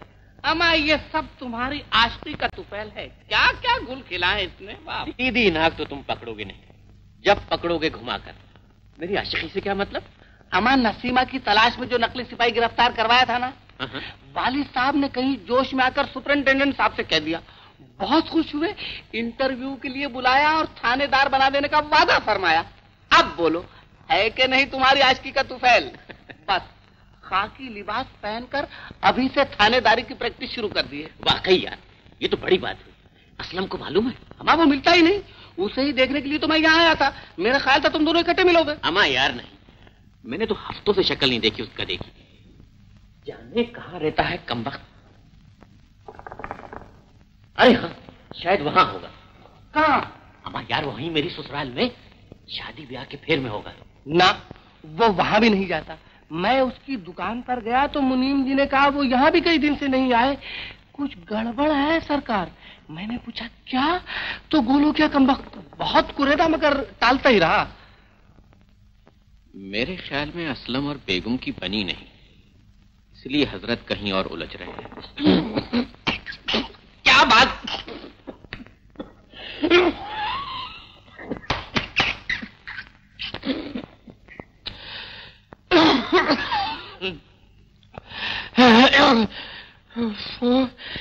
क्या बात करते हो यार? याद नहीं बीवी की कितनी तारीफ़ किया करता था? वो शुरू शुरू की बात थी मिया। अनबन होते कुछ देर नहीं लगती। चलो कोई बात नहीं। पता लगा लेते हैं ये भी। लाइए। हमारा लाओ ना यार। कसम खुदा की किस नालायक ने उपका भर दिया? ओहो माफ़ करना आपने भरा था। जरा सूरत तो देख अपनी। इतना सा मुँह निकल आया है मगर तू छुपा ही जाती है। अरे तेरे भाइयों ने उसे कोठे पे चढ़ते देखा है। क्या झूठ कहेंगे वो? अम्मी अगर ये सच भी है तो उसी वक्त तक जब तक वो आकर इससे इनकार न करते। तू तो शोहर परस्ती में अंधी हो गई है अंधी। तुझे उसका कोई ऐब नज़र ही नहीं आता। मगर याद रख इस बात की रोकथाम न की गई तो एक दिन हम सबको सर पर हाथ रख के रोना पड़ेगा। आप लोगों को गलत फहमी हुई है अम्मी। वो हरगिज ऐसे नहीं है।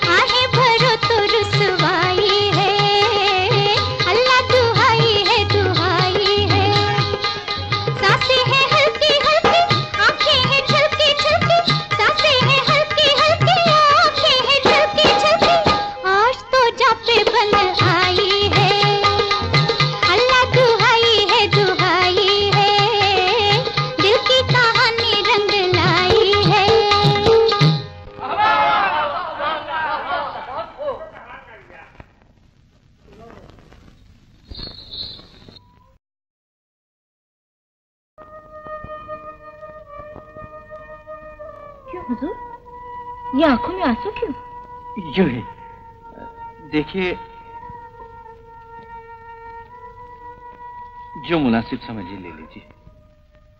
मेरे लिए यहाँ के तौर तरीके कुछ नए नए से हैं भी। कोई बात नहीं। सीख जाइएगा आहिस्ता आहिस्ता कोई आ गया। आने दीजिए। मेरा यहाँ आने का मकसद ही यही है कि यहाँ आने वालों से मेल जोल बढ़े। शोहरत हो।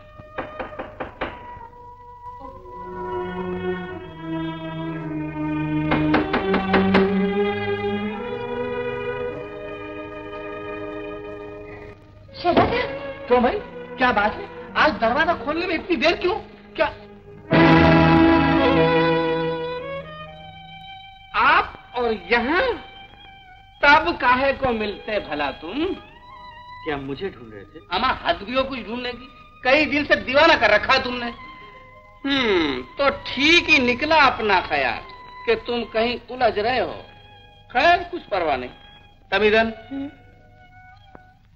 कान खोलकर सुन लो जिसके लिए मैं खास तौर से यहाँ आया हूँ। हाय अल्लाह सुन तो रही हूँ। कोई बैरी थोड़ी हो गई हूँ? आज के चौथे रोज नवाब साहब की बारात में तुम्हें तख्ते रवा पर नाचते हुए चलना होगा। बारात बड़ी धूमधाम से जाएगी। क्या चार ही दिन रह गए बारात को? और क्या? मगर तुम्हें अब किसी चीज़ का पता क्यों होने लगा? आप इनको जानते हैं? लीजिए और सुनिए। वो मसल सुनी है ना एक जान और दो कालिब। गलत बिल्कुल गलत। एक जान और तीन कालिब। ये हम और नवाब साहब। अरे वही जिनकी बारात में तुम्हें चलना होगा। अच्छा अच्छा। अच्छी बात है तो मैं चलता हूँ। लिहाज रहे मेरे दोस्त हैं। और तुम तो अभी बैठोगे शायद। बैठो बैठो। अ, मेरे ख्याल में सिर्फ़ पीना बाकी रह गया है। वो कसर भी पूरी कर ही डालो। भेज दू दो चार बोतलें? न छेड़, न कहते बादे बहारी, राह लगा। तुझे अटखेलियाँ सूझी हैं। हम बेजार बैठे हैं।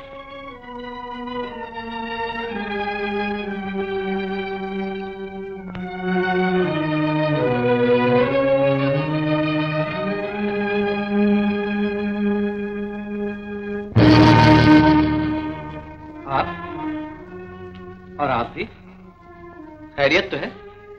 अब तक तो थी। मगर अब नहीं। क्या मतलब? मतलब बिल्कुल साफ़ है। और सिर्फ़ दो लफ्जों में।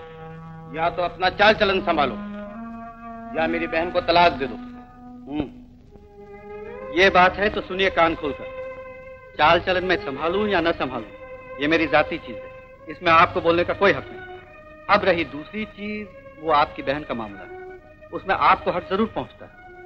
मगर पहले मेरे चंद सवालों के जवाब दीजिए।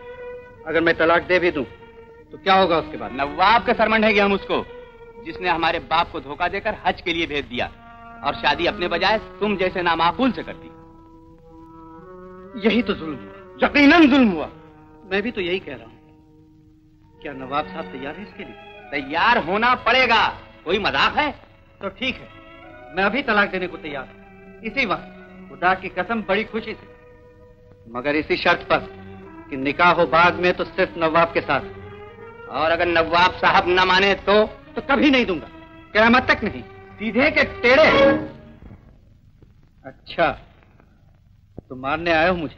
बेशक। ठहरो।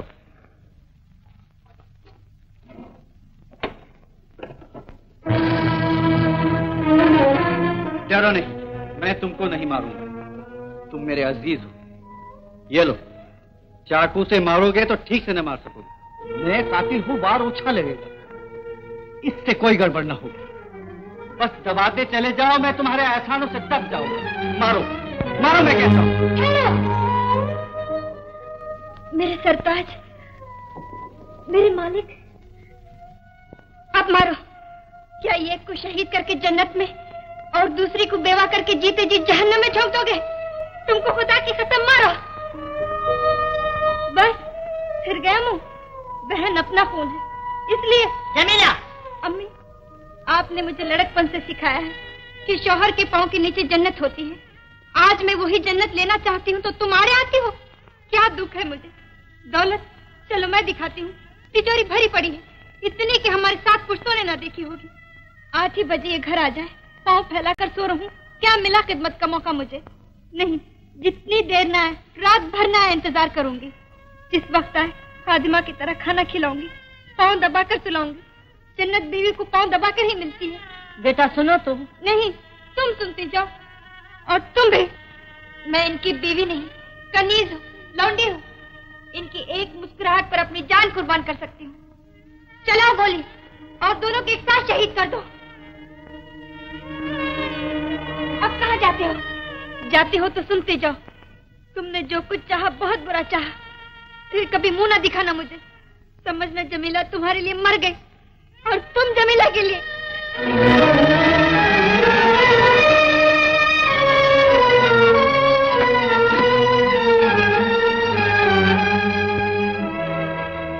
आपसे शिकायत की ज़रूरत इसलिए हुई कि ये शादी आपने कराई थी। और यकीन कीजिए नवाब साहब, जो कुछ भी आपसे कहा है एक एक लफ्ज सच है। शहदा से मुझे सब कुछ मालूम हो चुका है। अब आप घर जाइए और अपनी वालिदा साहिबा को मेरा सलाम कहिए। और ये कहिए कि मैं मरा नहीं, ज़िंदा हूँ अभी। उनकी बेटी फूलों की सेज भी झूला झूलेगी इतमीनान रखे खुदा आपकी जबान मुबारक करे। आदा आला शहदा अब बताओ कि इसकी रोकथाम कैसे की जाए। यही तो मैं भी सोच रहा हूँ।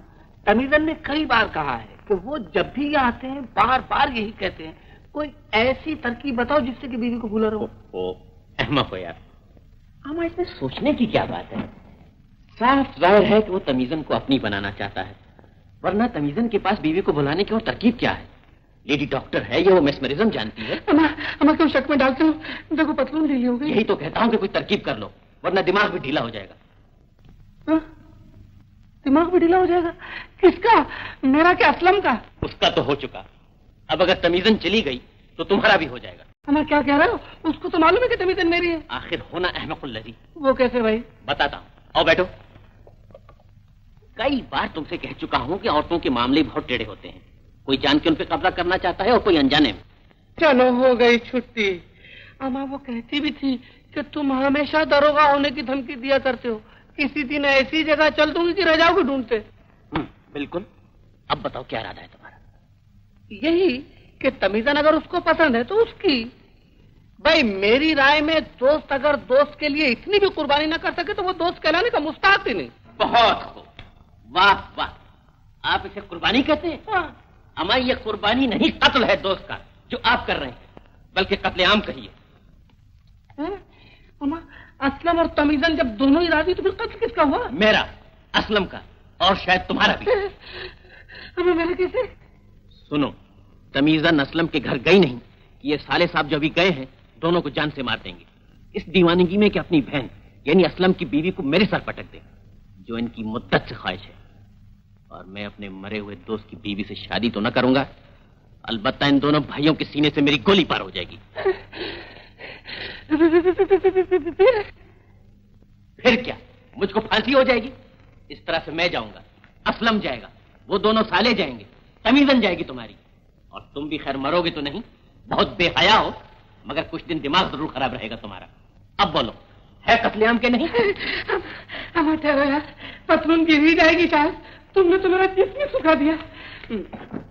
असलम मियाँ। हम्म, हम्म, मेरा मतलब है प्यारे मियाँ बताओ ना करना क्या होगा? करना क्या होगा? हिम्मत जाओ और तमीजन का दरवाज़ा हमेशा के लिए बंद कर दो। मैं क्या बात करते हो? दरवाज़ा बंद कर दूँगा तो मैं अंदर कैसे जाऊँगा? वो बाहर कैसे तशरीफ़ लाएँगी? नहीं नहीं एक बात। ओ फिर नहीं समझे।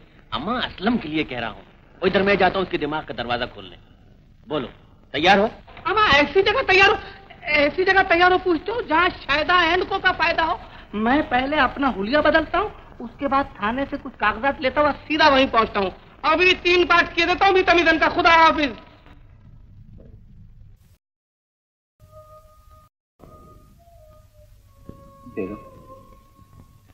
मैं बड़ा ना नाती मैंने तुम्हें बहुत तकलीफ़ दी।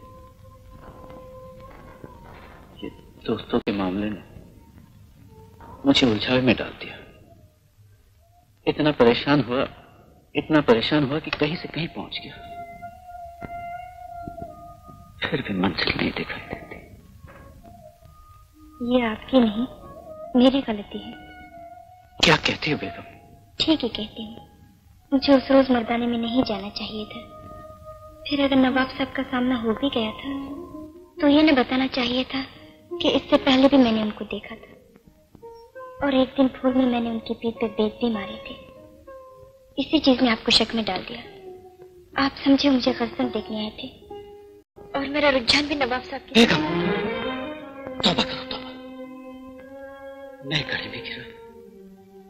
तो तुमने भी मुझे नज़रों से गिरा दिया। तोहिन की है तुमने मेरी और मुझसे ज़्यादा मेरे दोस्त की। मैं सच कहती हूँ मेरा अल्लाह जानता है। अगर ये परेशानी किसी और वजह से है आपकी तबीयत कहीं और लग गई है तो उन्हें भी ले आइए। मैं उनकी बहन बनकर रहूँगी और दोनों दिलो जान से आपकी खिदमत करेंगे।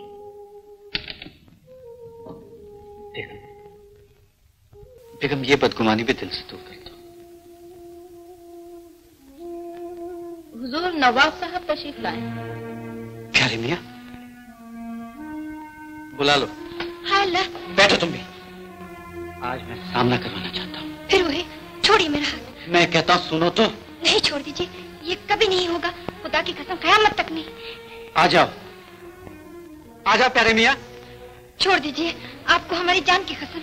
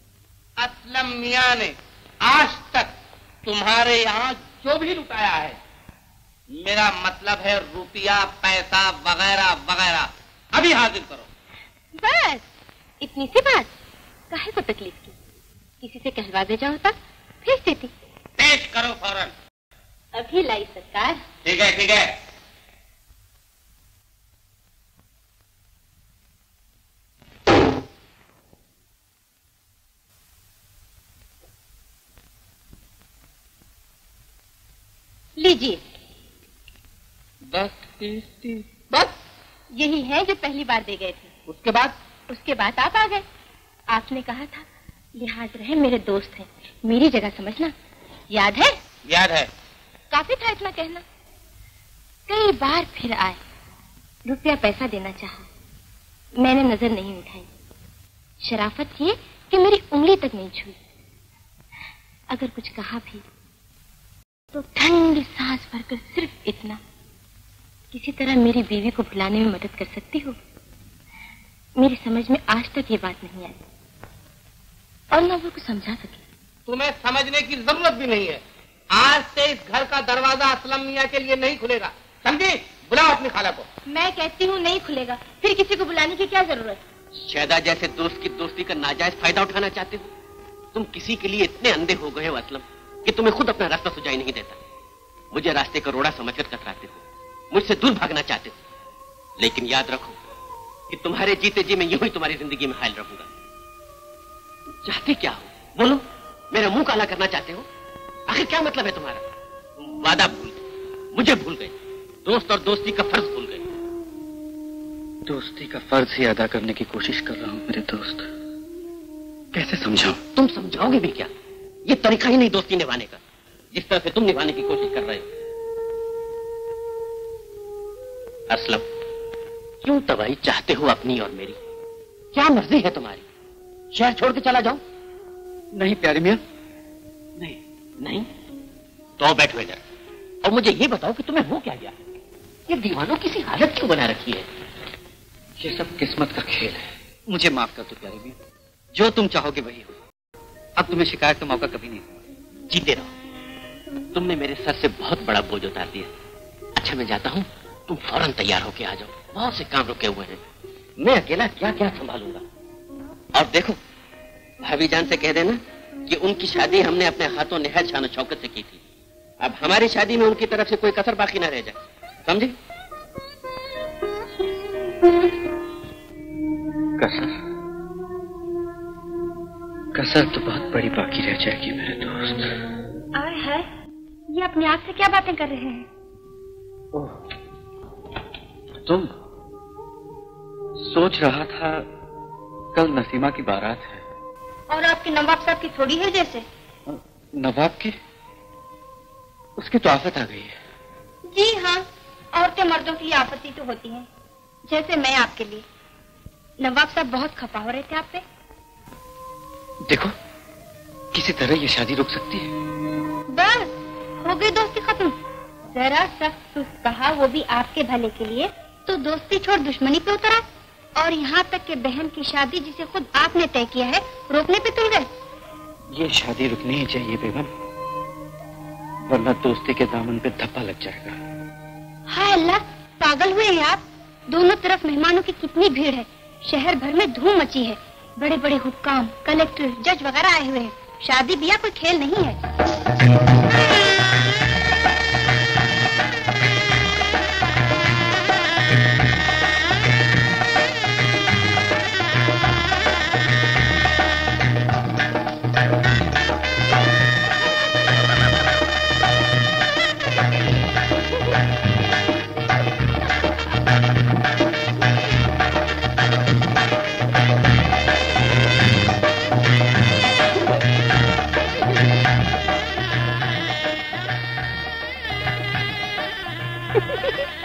अम्मी जान अजरा, सलमा, नसरीन सभी आ चुकी हैं। जमीला भाभी नहीं आई और ना असलम भाई ही आए।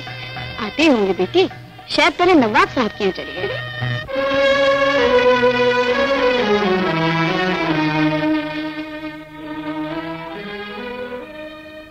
जमीला कहती है, शादी नहीं रुक सकती। किसी तरह नहीं रुक सकती। रुक सकती है अब तुम्हें रोकना होगा। वरना एक दूसरा फरेब होगा उस दोस्त के साथ, जिसने तुम्हें दोबारा इज़्ज़त बख्शी, तुम्हारी जान बचाई। आज खुद उसकी जान खतरे में है। माना कि उसने कुल्हाड़ी अपने हाथ से अपने पाँव पे मारी है। मगर अनजाने में, ये तुम जानते हो, और ये भी जानते हो कि उसके जख्म का मरहम, उसका अनमोल हीरा तुम्हारे पास है,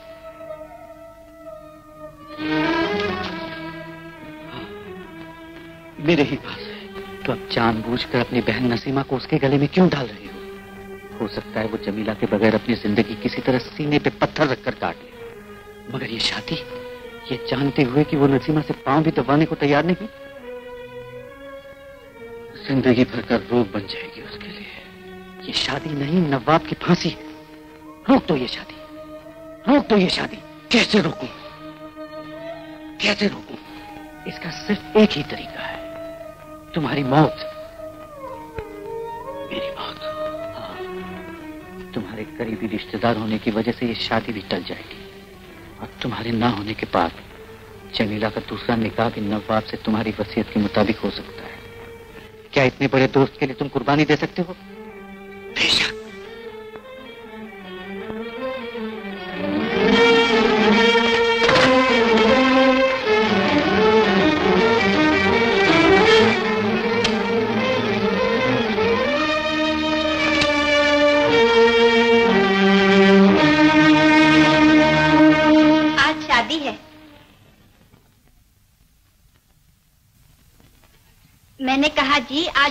नवाब साहब और नसीमा बहन की शादी है। चलेगा नहीं? चलने ही की तैयारी कर रहा था। जी? अरे तुम भी तो तैयार नहीं हुई बेगम। मैं? लीजिए अभी हुई जाती हूँ। बेगम! जी। वही शादी वाला जोड़ा पहनना। मैं तुम्हें एक बार फिर दुल्हन के रूप में देखना चाहता हूँ। हाय अल्लाह शादी नसीमा की हो रही है। और दुल्हन आप मुझे बना रहे बहस न करो, बेगम। वक्त बहुत थोड़ा रह गया।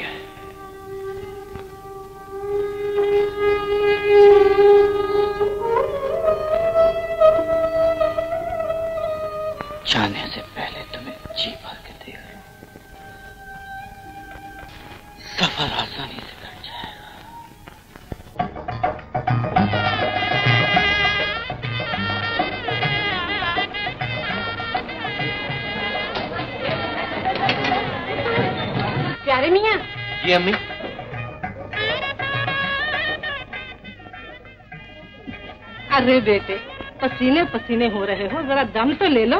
क्या करूँ अम्मी जान? काम इतना ज़्यादा है और मैं अकेला। अरे तो वो तेरे दोस्तों को क्या हुआ?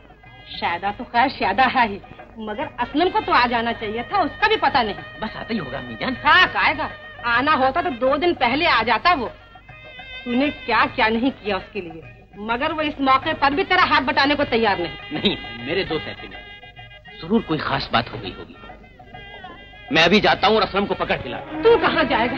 किसी नौकर चाकर को भेज। आज घर से बाहर जाना तेरे लिए अच्छा नहीं। नहीं अम्मी अभी आता हूँ। बस अभी आए। मैं कहती हूँ तेरा जाना ठीक नहीं। लौटो बेटे बस शुरू नहीं होगी। अम्मी? हाँ बेटे। जाने क्यों मेरा दिल हॉल खा रहा है? जमीला भाभी और असलम भाई जान अभी तक नहीं आए। अल्लाह खैर करे बेटी। मैं अभी किसी को भेजती हूँ।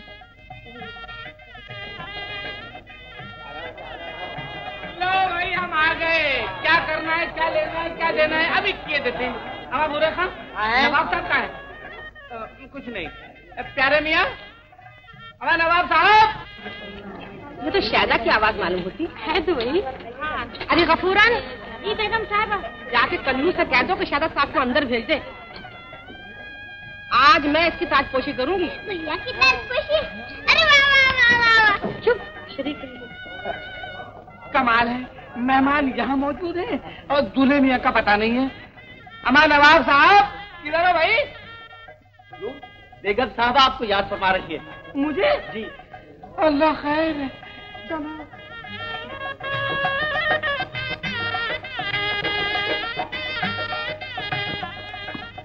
आदावर से चची जान। क्यों रे नाला? तू अब आ रहा है। नहीं तो मैं तो सुबह से काम में मसरूफ हूँ। अरे क्यों झूठ बोलता है? कल से न तेरा पता है ना असलम का। प्यारे मियाँ उसी को लेने गए। अच्छा? हाँ बेटा मैंने लाख रोका मगर उसने एक न सुना। जा इसे जल्दी से पकड़ ला इतनी सी बात! आ गए समझिए। ए, ए, ये गया। बेगम है। ये टीका उस दिन जरा नीचे था। यहाँ। हाय अल्लाह क्या हो गया है आपको? अब हटाइए भी। वहाँ लोग इंतज़ार कर रहे होंगे। शाम होने को आ गई। शाम तो रोज ही आती है। मगर आज की शाम लखनऊ की सबसे हसीन शाम होगी। तुम्हारे लिए। और आपके लिए? मेरे लिए तो ये शाम शाम गरीबा होगी। अरे नौज ऐसा क्यों कहते हैं आप? बस एक शाम तुम्हारी एक शाम हमारी।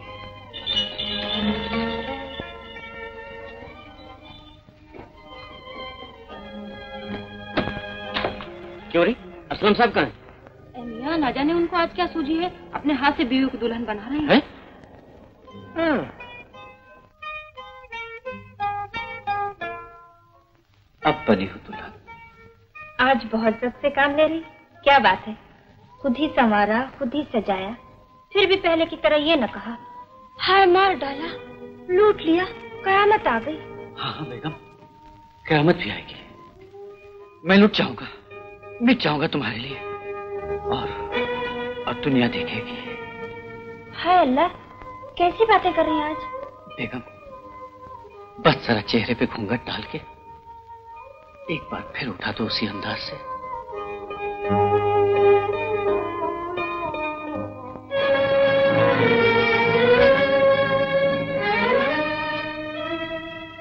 सुबह अल्लाह। वाकई चौधरी प्यारे मियाँ ने ये सबसे बड़ा एहसान किया है मुझे। अरे ये तो असलम की बीवी। है ये तो असलम की बीवी। है तो असलम की बीवी है।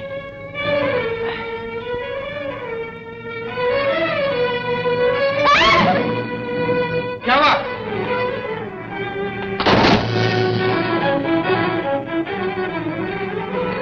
क्या हुआ सुब्रत?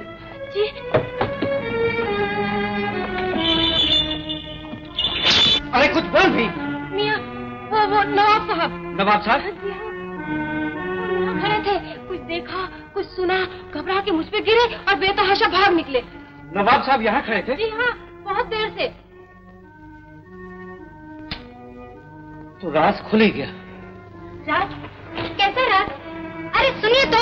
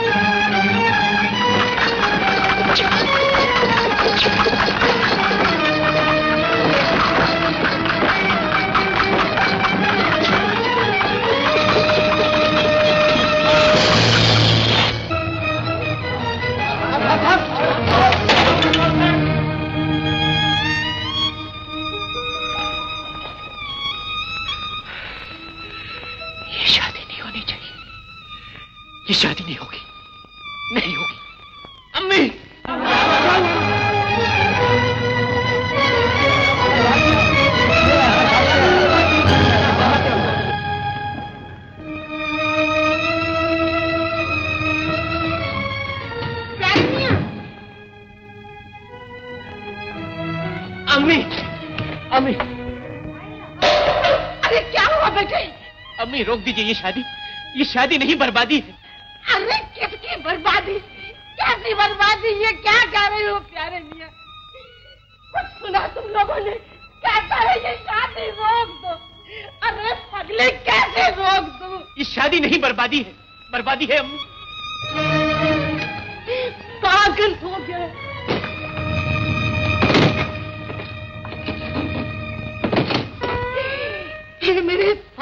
परवरदिगार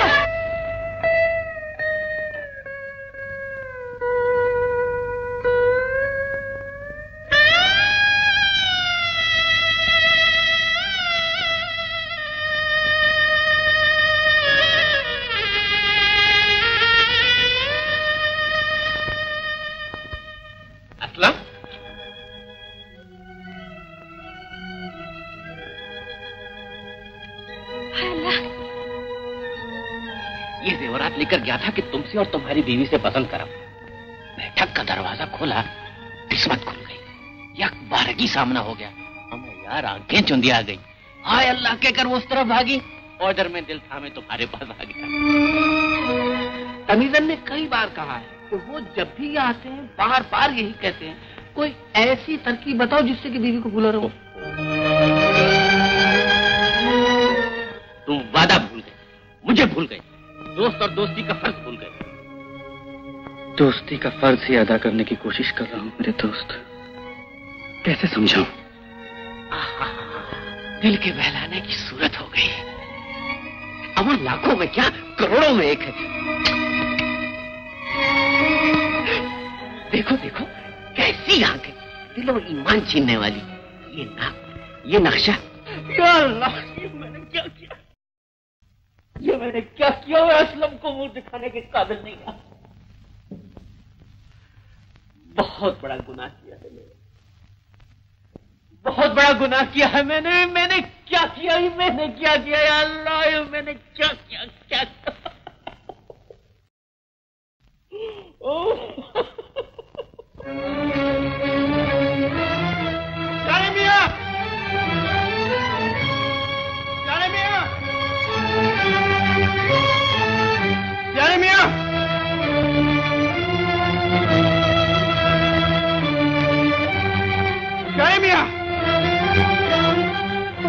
बेगम साहिबा? प्यारे मियाँ कहाँ है बेगम साहिबा? बेगम साहिबा तो बेहोश पड़ी है बेचारी। प्यारे मियाँ अपने कमरे में ऊपर गए हैं। कहते हैं शादी रोक दो। शादी नहीं बर्बादी है। बर्बादी?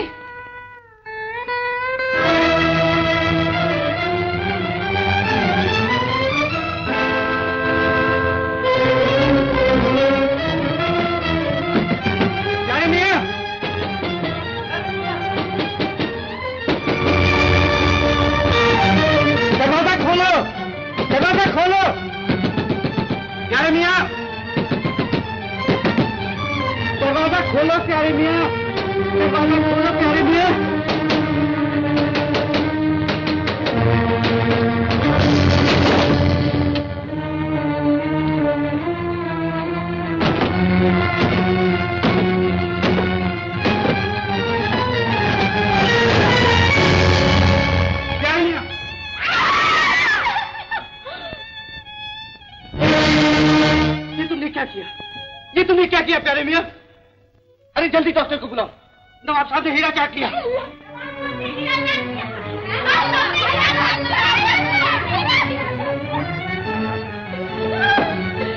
साहब हीरा साहब ने हीरा चाट लिया ये क्या किया? ये क्या किया प्यारे मियाँ?